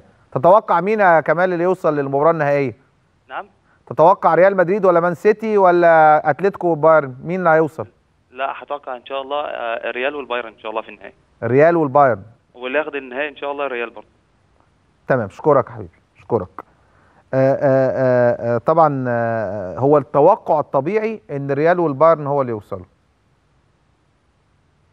ده الجون اللي اختاره ده أحلى هدف اللي كمال اختاره الهدف الثالث في الدوري الروسي. معانا مين على التليفون؟ نروح معانا حد يا جماعة تليفون؟ طيب تعالوا نروح للدوريات كده سريعا ونفتح نرجع نفتح التليفونات. الدوري ال- آه، معانا أول حاجة الدوري المغربي؟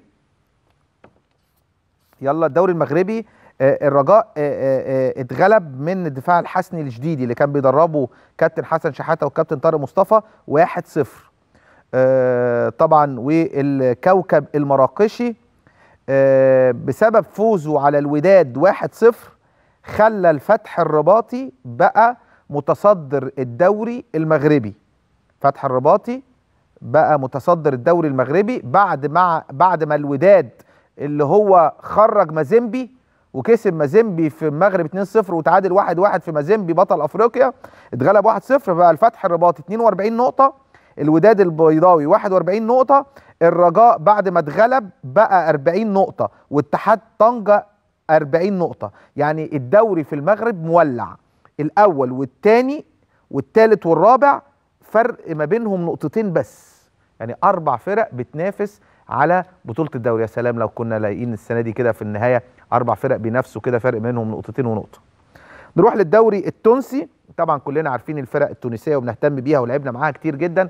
آه، الترجي كسب البنزرتي التونسي 2-0 ترجي بيحاول يستعيد بريقه مرة أخرى. ترجي من خمس سنين غير الترجي السنة اللي فاتت غير الترجي السنة دي. الوضع بيتغير نوعا ما للأفضل بس السنة اللي فاتت كانت أسوأ سنة بالنسبة للنادي الترجي السنة اللي فاتت واللي قبليها. النجم الساحلي اللي هو يعتبر أقوى فريق دلوقتي في آه، تونس آه، كسب الملعب التونسي 4 1 رغم النجم الساحلي بعد ما عمل مباراة كبيرة قدام أنيمبا 3 0 اتغلب بره 3 0 كسب خسر بضربات الجزاء الترجيحية. آه، آه، النجم الساحلي رغم فوزه على الملعب التونسي ولكن ما زال الصفاقسي. التونسي بيتصدر الدوري التونسي ب 61 نقطة. أما النجم الساحلي في المركز الثاني 59 نقطة والترجي الرياضي 58 نقطة. إذا في منافسة شرسة جدا.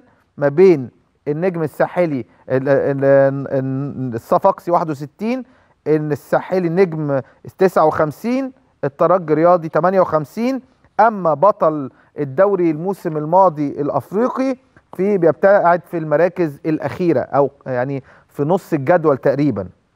نروح للدوري الجزائري وهي مباراة كانت آه، آه، مصيرية.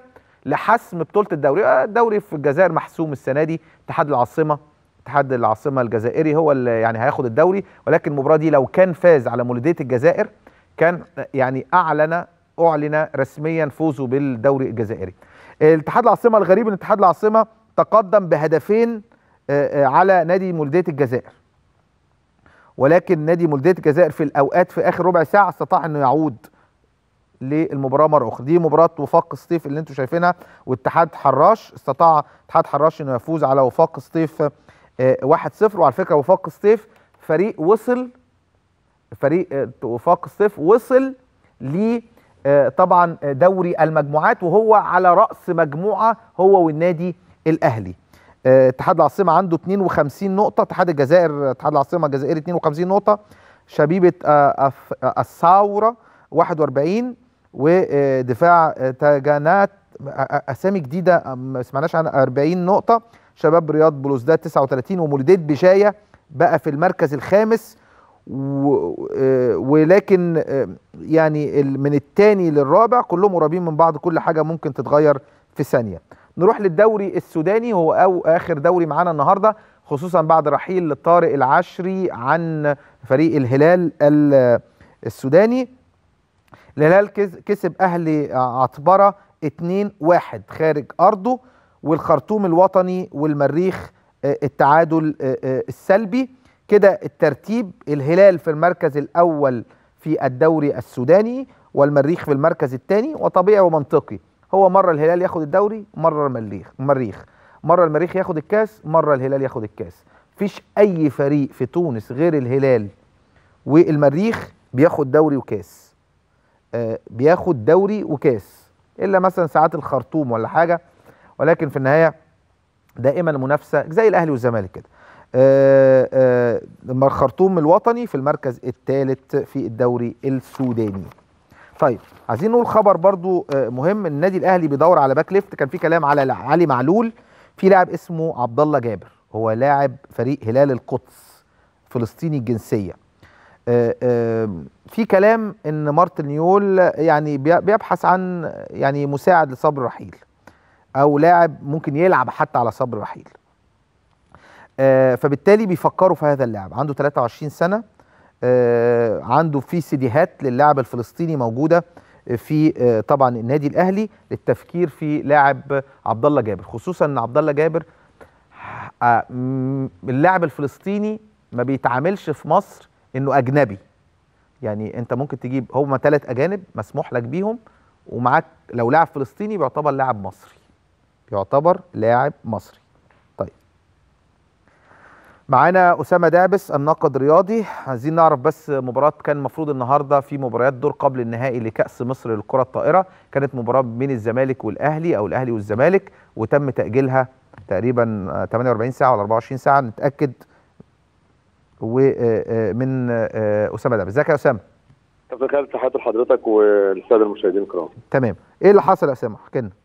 كابتن هو كان المفترض طبعا المباراه النها- النهارده زي ما زي ما الجدول معمول بعد أحداث الألتراس امبارح في مباراة الزمالك وسموحة كان المفترض المباراه النهارده لكن حصل اجتماع طارئ بلجنه المسابقات باتحاد الكرة الطايرة واجتماع مجلس الاداره وتم الاستقرار على نقل المباراة إلى ال- هيئة قناة السويس اسماعيليه صاله هيئة قناة السويس لكن صاله اثنين آه. المباراة الأولى هتكون بين ال- الجيش والطيران الساعة 5 والمباراه الثانية بين الزمالك والأهلي الساعة 7 الاثنين الجمعة والسبت راحة والحد من المباراة النهائية. كان المفترض برضه اتحاد الطايره في الأول في البداية قال إن الم- الماتش ما فيش راحة يعني الجمعة قبل النهائي والسبت آه، نهائي. اعترض مسؤول نادي الزمالك على على توالي المباريات في اليوم التالي على طول وقالوا لا في الجدول من البداية إن في يوم راحة بين الدور اللي قبل النهائي والدور النهائي.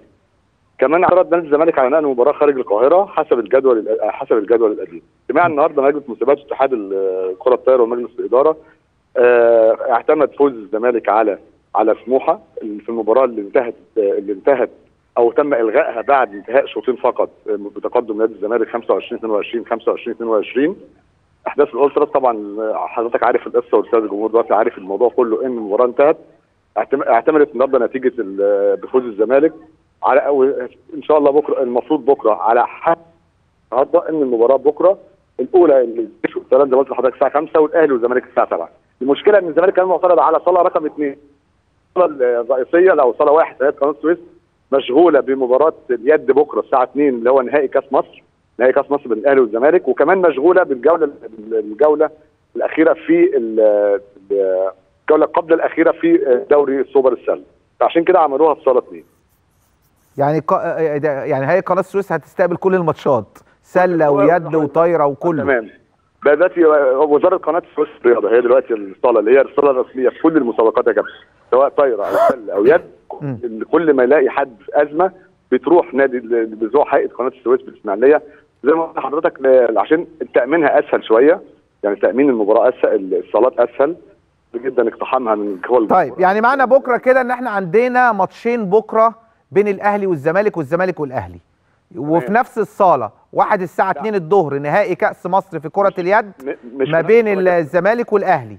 مش في نفس الصالة. واحد في صالة واحد الصالة الرئيسيه أيوه أيوه يعني يعني في هيئة قناة في نفس السويس. المكان يعني. آه آه في نفس المكان. والماتش الثاني الساعة 7 بين الأهلي والزمالك في دور قبل النهائي لكأس مصر للكره الطائرة. تمام صاله واحد برضو عليها مباراه عليها برضو الجوله قبل الاخيره في دوري سوبر السله اللي هو احتمال كبير جدا يتم حسم ال- الدوري للنادي الأهلي بكرة لو فاز على آه، سبورتنج تمام. ه- هيحسم آه، فوز النادي الأهلي ببطولة الدوري لكرة السلة. آه، لكرة السلة يعني يبقى كده الألعاب الثلاثه تقريبا اتقسمت ما بين الزمالك خد بطل الدوري في كرة اليد الأهلي خد بطل الدوري في كرة السلة هو الأقرب وطلائع الجيش خد بطل الدوري في الكرة الطائرة. الطائرة وهو الأقرب أيضا للحصول على آه، كأس مصر. لأن هو بيلاقي إلى حد كبير المؤ... يعني المواجهه آه لأن طلائع الجيش ممكن يحافظ على آه، آه، دوري وكأس السنة دي في الكرة الطائرة خصوصا إن هو عنده أفضل لعيبة في مصر اللي كان بيلعبوا في النادي الأهلي أحمد صلاح أحسن ضارب في أفريقيا. وأيضا عبد الله عبد السلام أفضل صانع ألعاب في أفريقيا. كمان في كأس العالم واخد أحسن ضرب في العالم كمان أحمد صلاح يعني. بالظبط. أشكرك أسامة دعبس طبعا الناقد الرياضي بالبوابة نيوز. أطلعنا على الألعاب الأخرى وأكيد إحنا كلنا بنهتم بالألعاب الأخرى. طيب معانا كمان تليفونات تعالوا نروح كده لبعض الناس. معانا أحمد عز الناقد الرياضي. في موقع 360 ازيك يا أبو حميد؟ الخير ازيك يا كابتن؟ إزاي أخبارك إيه؟ الحمد لله تمام. كله تمام؟ أخبار قول لنا إيه اخر أخبار في دوري أبطال أوروبا؟ والله الجولة خلصت امبارح طبعا بالماتش الكبير اللي شفناه بين بايرن ميونخ الماني آه. وأتلتيكو مدريد. طبعا الماتش لسه ما اتحسمش طبعا يعني يعني بالرغم من الفريق الأسباني كسب الماتش لسه ما اتحسمش فيه جولة ثانية في الاليانز أرينا. بنسبة كبيرة الفريق الألماني هي هيغير هيغير كل اللي حصل ده هيغيره. تفتكر يا أحمد تفتكر إن إن إن أتلتيكو مدريد اللي هو أقوى دفاع في أوروبا ممكن يتغلب 2-0 من بايرن؟ وارد وارد. بايرن ميونخ بايرن ميونخ على أرضه وجماهيره لعيب زيادة في الفريق. آه آه. طب أحمد يعني أنت شايف إن الأقرب بايرن ميونخ وريال مدريد النهائي؟ ده ده منطقيا. منطقيا البايرن وريال مدريد في النهائي منطقيا. سواء الخبرة أو الحاج الحاجز النفسي في الفرقتين. يعني حتى يعني كل المؤشرات في الاتحاد الأوروبي وفي الصحافة والكلام ده كله بترشح إن البايرن وريال مدريد في النهائي. أحمد أنا عارف أنت متابع جيد لل... للأوروبا وكده. عندك معلومات بنسمع كتير قوي على رمضان صبحي جاله ميلان. رمضان صبحي أحد المصريين اللي بيشتغلوا في أكاديميات تشيلسي آه عرضوا على تشيلسي. آه كلام كتير على إن النني بيرشحوا للارسنال كلام خلاص إنه في الانتقالات السنة دي الصيفية هيترك رمضان صبحي النادي الأهلي. عندك معلومات؟ بص يا كابتن خلينا نتكلم بصراحة في موضوع رمضان صبحي ده. موضوع رمضان صبحي ده اللي في الفترة الأخيرة الصحف الصحف المصرية هنا كتبوا عنه تقارير إنه ماشي وفي عرض من ميلان وعرض من تشيلسي وعرض من أرسنال والنني بيرشحه زي ما حضرتك قلت. بس كل الكلام ده تكهنات وكلام على ورق. المسؤول مسؤول التعاقدات في تشيلسي امبارح خرج بنفى الموضوع تماما وقال أنا ما أعرفش حد اسمه رمضان صبحي. يعني مسؤول تشيلسي نفسه قال مسؤول التعاقدات قال لك ما أعرفش حد اسمه رمضان صبحي. آه ده امبارح. في ميلان هناك ميلان دلوقتي في توتر إن إن بيرلسكوني هيبيع هيبيع 70% من أسهم النادي للمستثمرين الصينيين وده طبعا موقف كل حاجة. في أرسنال كلام صحافة بيقولوا إن النني مرشحه. وأعتقد يعني إن الكلام ده مش مش موجود بره إن لعيب يرشح حد غير لما هم يسألوا عليه. إنما لسه رمضان صبحي ما فيش ولا عرض رسمي جه لحد دلوقتي ولا من اي من أي نادي أوروبي. كان في كلام السنة اللي فاتت إن هو خلاص روما عايزاه. فاكر أنت؟ آه فاكر. كانت تكهنات برضه ما, ما, ما, ما فيش حاجة رسمي جت من الأهلي. آه. حتى ممكن يكون في وكيل أو شركة تسويق عرض ممكن تكون عرض على الاهلي إنما ما فيش فاكس رسمي طلع من نادي أوروبي للأهلي بحيث هم عايزين رمضان صبحي. يعني إحنا ما نقدرش نقول لغاية دلوقتي إن رمضان جاله عرض رسمي أو خلاص هو في طريقه للرحيل عن النادي الأهلي. لا لسه لسه لسه, لسه بدري. ولو في ولو في ولو في صحف بره ما بتخبيش. آه بس كان في كلام إن لاكازيتا تيلا سبورت كانت كتبت كلام على رمضان. آه عن الميلان لما لما في شركة تسويق إيطالية جابت جابت عرض على الأهلي إن رمضان يجي الميلان. ده كان من أسبوع جازيتا السبورت اتكلمت والكوريري ومعظم الصحف الايطاليه وقالوا إن ده موهبة شابة وقالوا إن هو هيبقى زي صلاح والكلام ده كده. بس برضه لسه ما فيش حاجة رسمي. أو بمعنى أدق الأهلي مش هيسعى إنه يمشي رمضان دلوقتي. زي ما حضرتك عارف إن إن رمضان يعني عمود عمود فقري في الأهلي الفترة الأخيرة دي.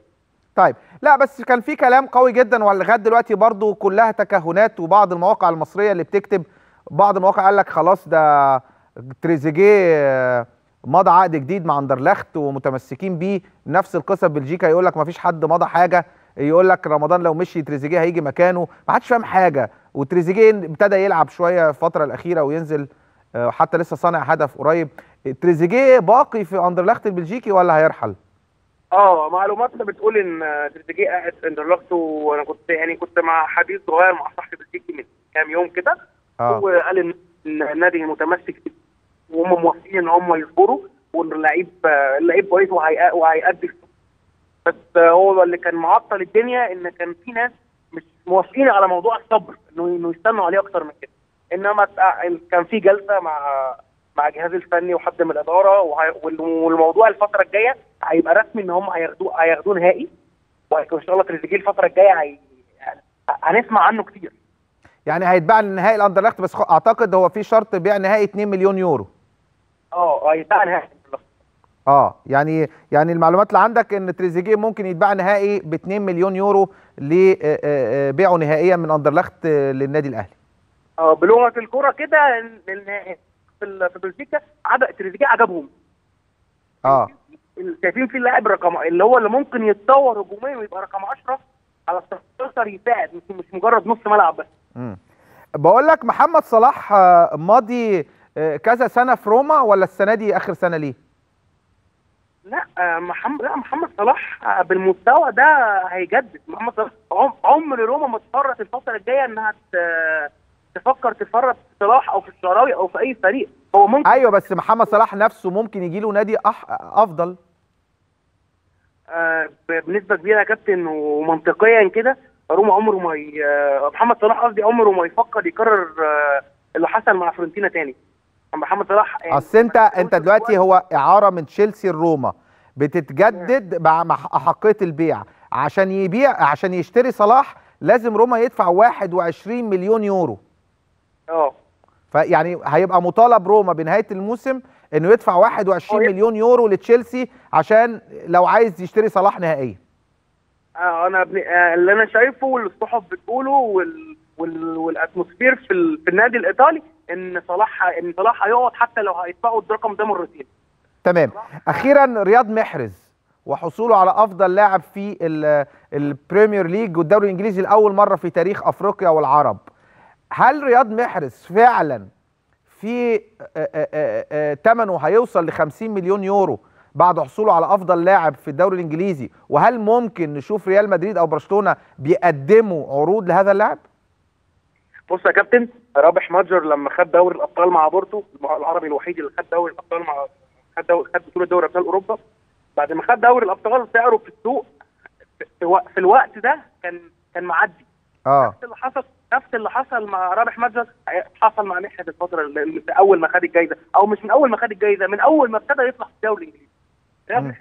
آه، قيمته السوقية في الميركاتو الصيفي هتعدي ال 40 وال 45 مليون يورو. تمام. تفتكر مين أندية ممكن تهتم بيه؟ الفرقة الوحيدة اللي مهتمة بيه كانت كانت أرسنال وبرشلونة كانت برشلونة قبل زوبدار- قبل زوبداريتا ما يمشي المدير الرياضي كان متكلم إن هم عايزينه. بس أعتقد يعني إن إن نوعية محرز دي ما تخرجش من إنجلترا يعني. ال- محرز يعني محرز لو راح بادائه ده الدوري الدوري الأسباني هي... هيعمل أكتر من اللي عمل معمول في الدوري الإنجليزي. ان الراجل ده أنا عايز المفروض يقعد في الدوري الإنجليزي يروح مانشستر مثلا يونايتد يروح مانشستر سيتي يروح تشيلسي إنما ما يخرجش من إنجلترا. آه. ده الصح قويا ده الصح يعني. آه آه. وخ- بس خد بالك في حاجة غريبة بتحصل إما أي لعيب يلعب في الدوري الإنجليزي ما بيبقاش عايز ما بيبقاش عايز يسيب الدوري الإنجليزي. طبعا ده أحسن أعلى brand أعلى brand في الكوره العالمية. أعلى كتير بقى في ناس بتقول أقوى دوري إنما ده اعلى brand ده أحسن أحسن دوري. هو أي لعيب مهما كان كرويات وعندك خير خير مثال فاردي زميل محرز في الفريق. من قصة كفاح إن الراجل يطلع ويظهر بعد ما كان عامل في مصنع ويطلع دلوقتي عنده 28 سنة وسعره ممكن يعدي في صحيح صحيح. أخيرا محمد النني آه، آه، آه، بي- بيثبت أقدامه في الأرسنال؟ آه طبعا. محمد النني دلوقتي من أحسن لعيبة وسط الملعب في انجلترا في العالم مش في إنجلترا بس. محمد النني أح أكتر واحد في الدوري الإنجليزي بيعمل باصات صح. أكتر واحد أكتر واحد بيتوظف في نص الملعب صح دلوقتي. فينجر بقى يعتمد عليه اعتماد كلي بقى يعتمد عليه أكتر من كوكلين وفلامين آه بقى أحسن. يعني دلوقتي فينجر بقى اللي بيعمله ده إيه ده إيه لو قعد؟ ما مشيش السنة الجاية إن هو هيخلي النني حاجة عاملة زي روزيتا تمام. لا. تمام عشان وقتنا يا أحمد أخيرا عمرو وردة. برضو ارتبط اسمه بانتقالات كبيرة بعد ما تألقه في الدوري اليوناني. عندك معلومة عن عمرو وردة؟ عمرو وردة باقي في الدوري اليوناني لموسمين أو موسم ونص. آه ممكن ينتقل لنادي أفضل في الدوري اليوناني؟ لا آه ممكن آه ممكن. آه في كان في كلام على الأولمبي- على اولمبياكوس بس بعد الماتش اللي لعبه قدامهم وجاب جول بس هو عمرو وردة قاعد في الدوري اليوناني فترة واخد اللي اللي النني عمله آه مثال لما الفترة اللي قعدها النني مع بازل واخد دي مثال. مش عايز يتسرع بمعنى بمعنى. بالظبط كده. مش عايز يسرع ويقعد احتياطي. طيب أشكرك أحمد عز. طبعا ال- الناقد الرياضي بموقع 360 النهارده دي كانت حلقتنا وحلقة استثنائية يا جماعة. طلعنا من 4 ل 6 معاكم. بكرة إن شاء الله هاجي لكم برضو في الكرة في دريم وهنكون من 7 ل 8 ونص وهتكون أيضا مداخلات تليفونية فقط. بكرة لمشاهدي آه، آه، طبعا الكرة في دريم. هشوفكم بكرة الجمعة. وإلى اللقاء.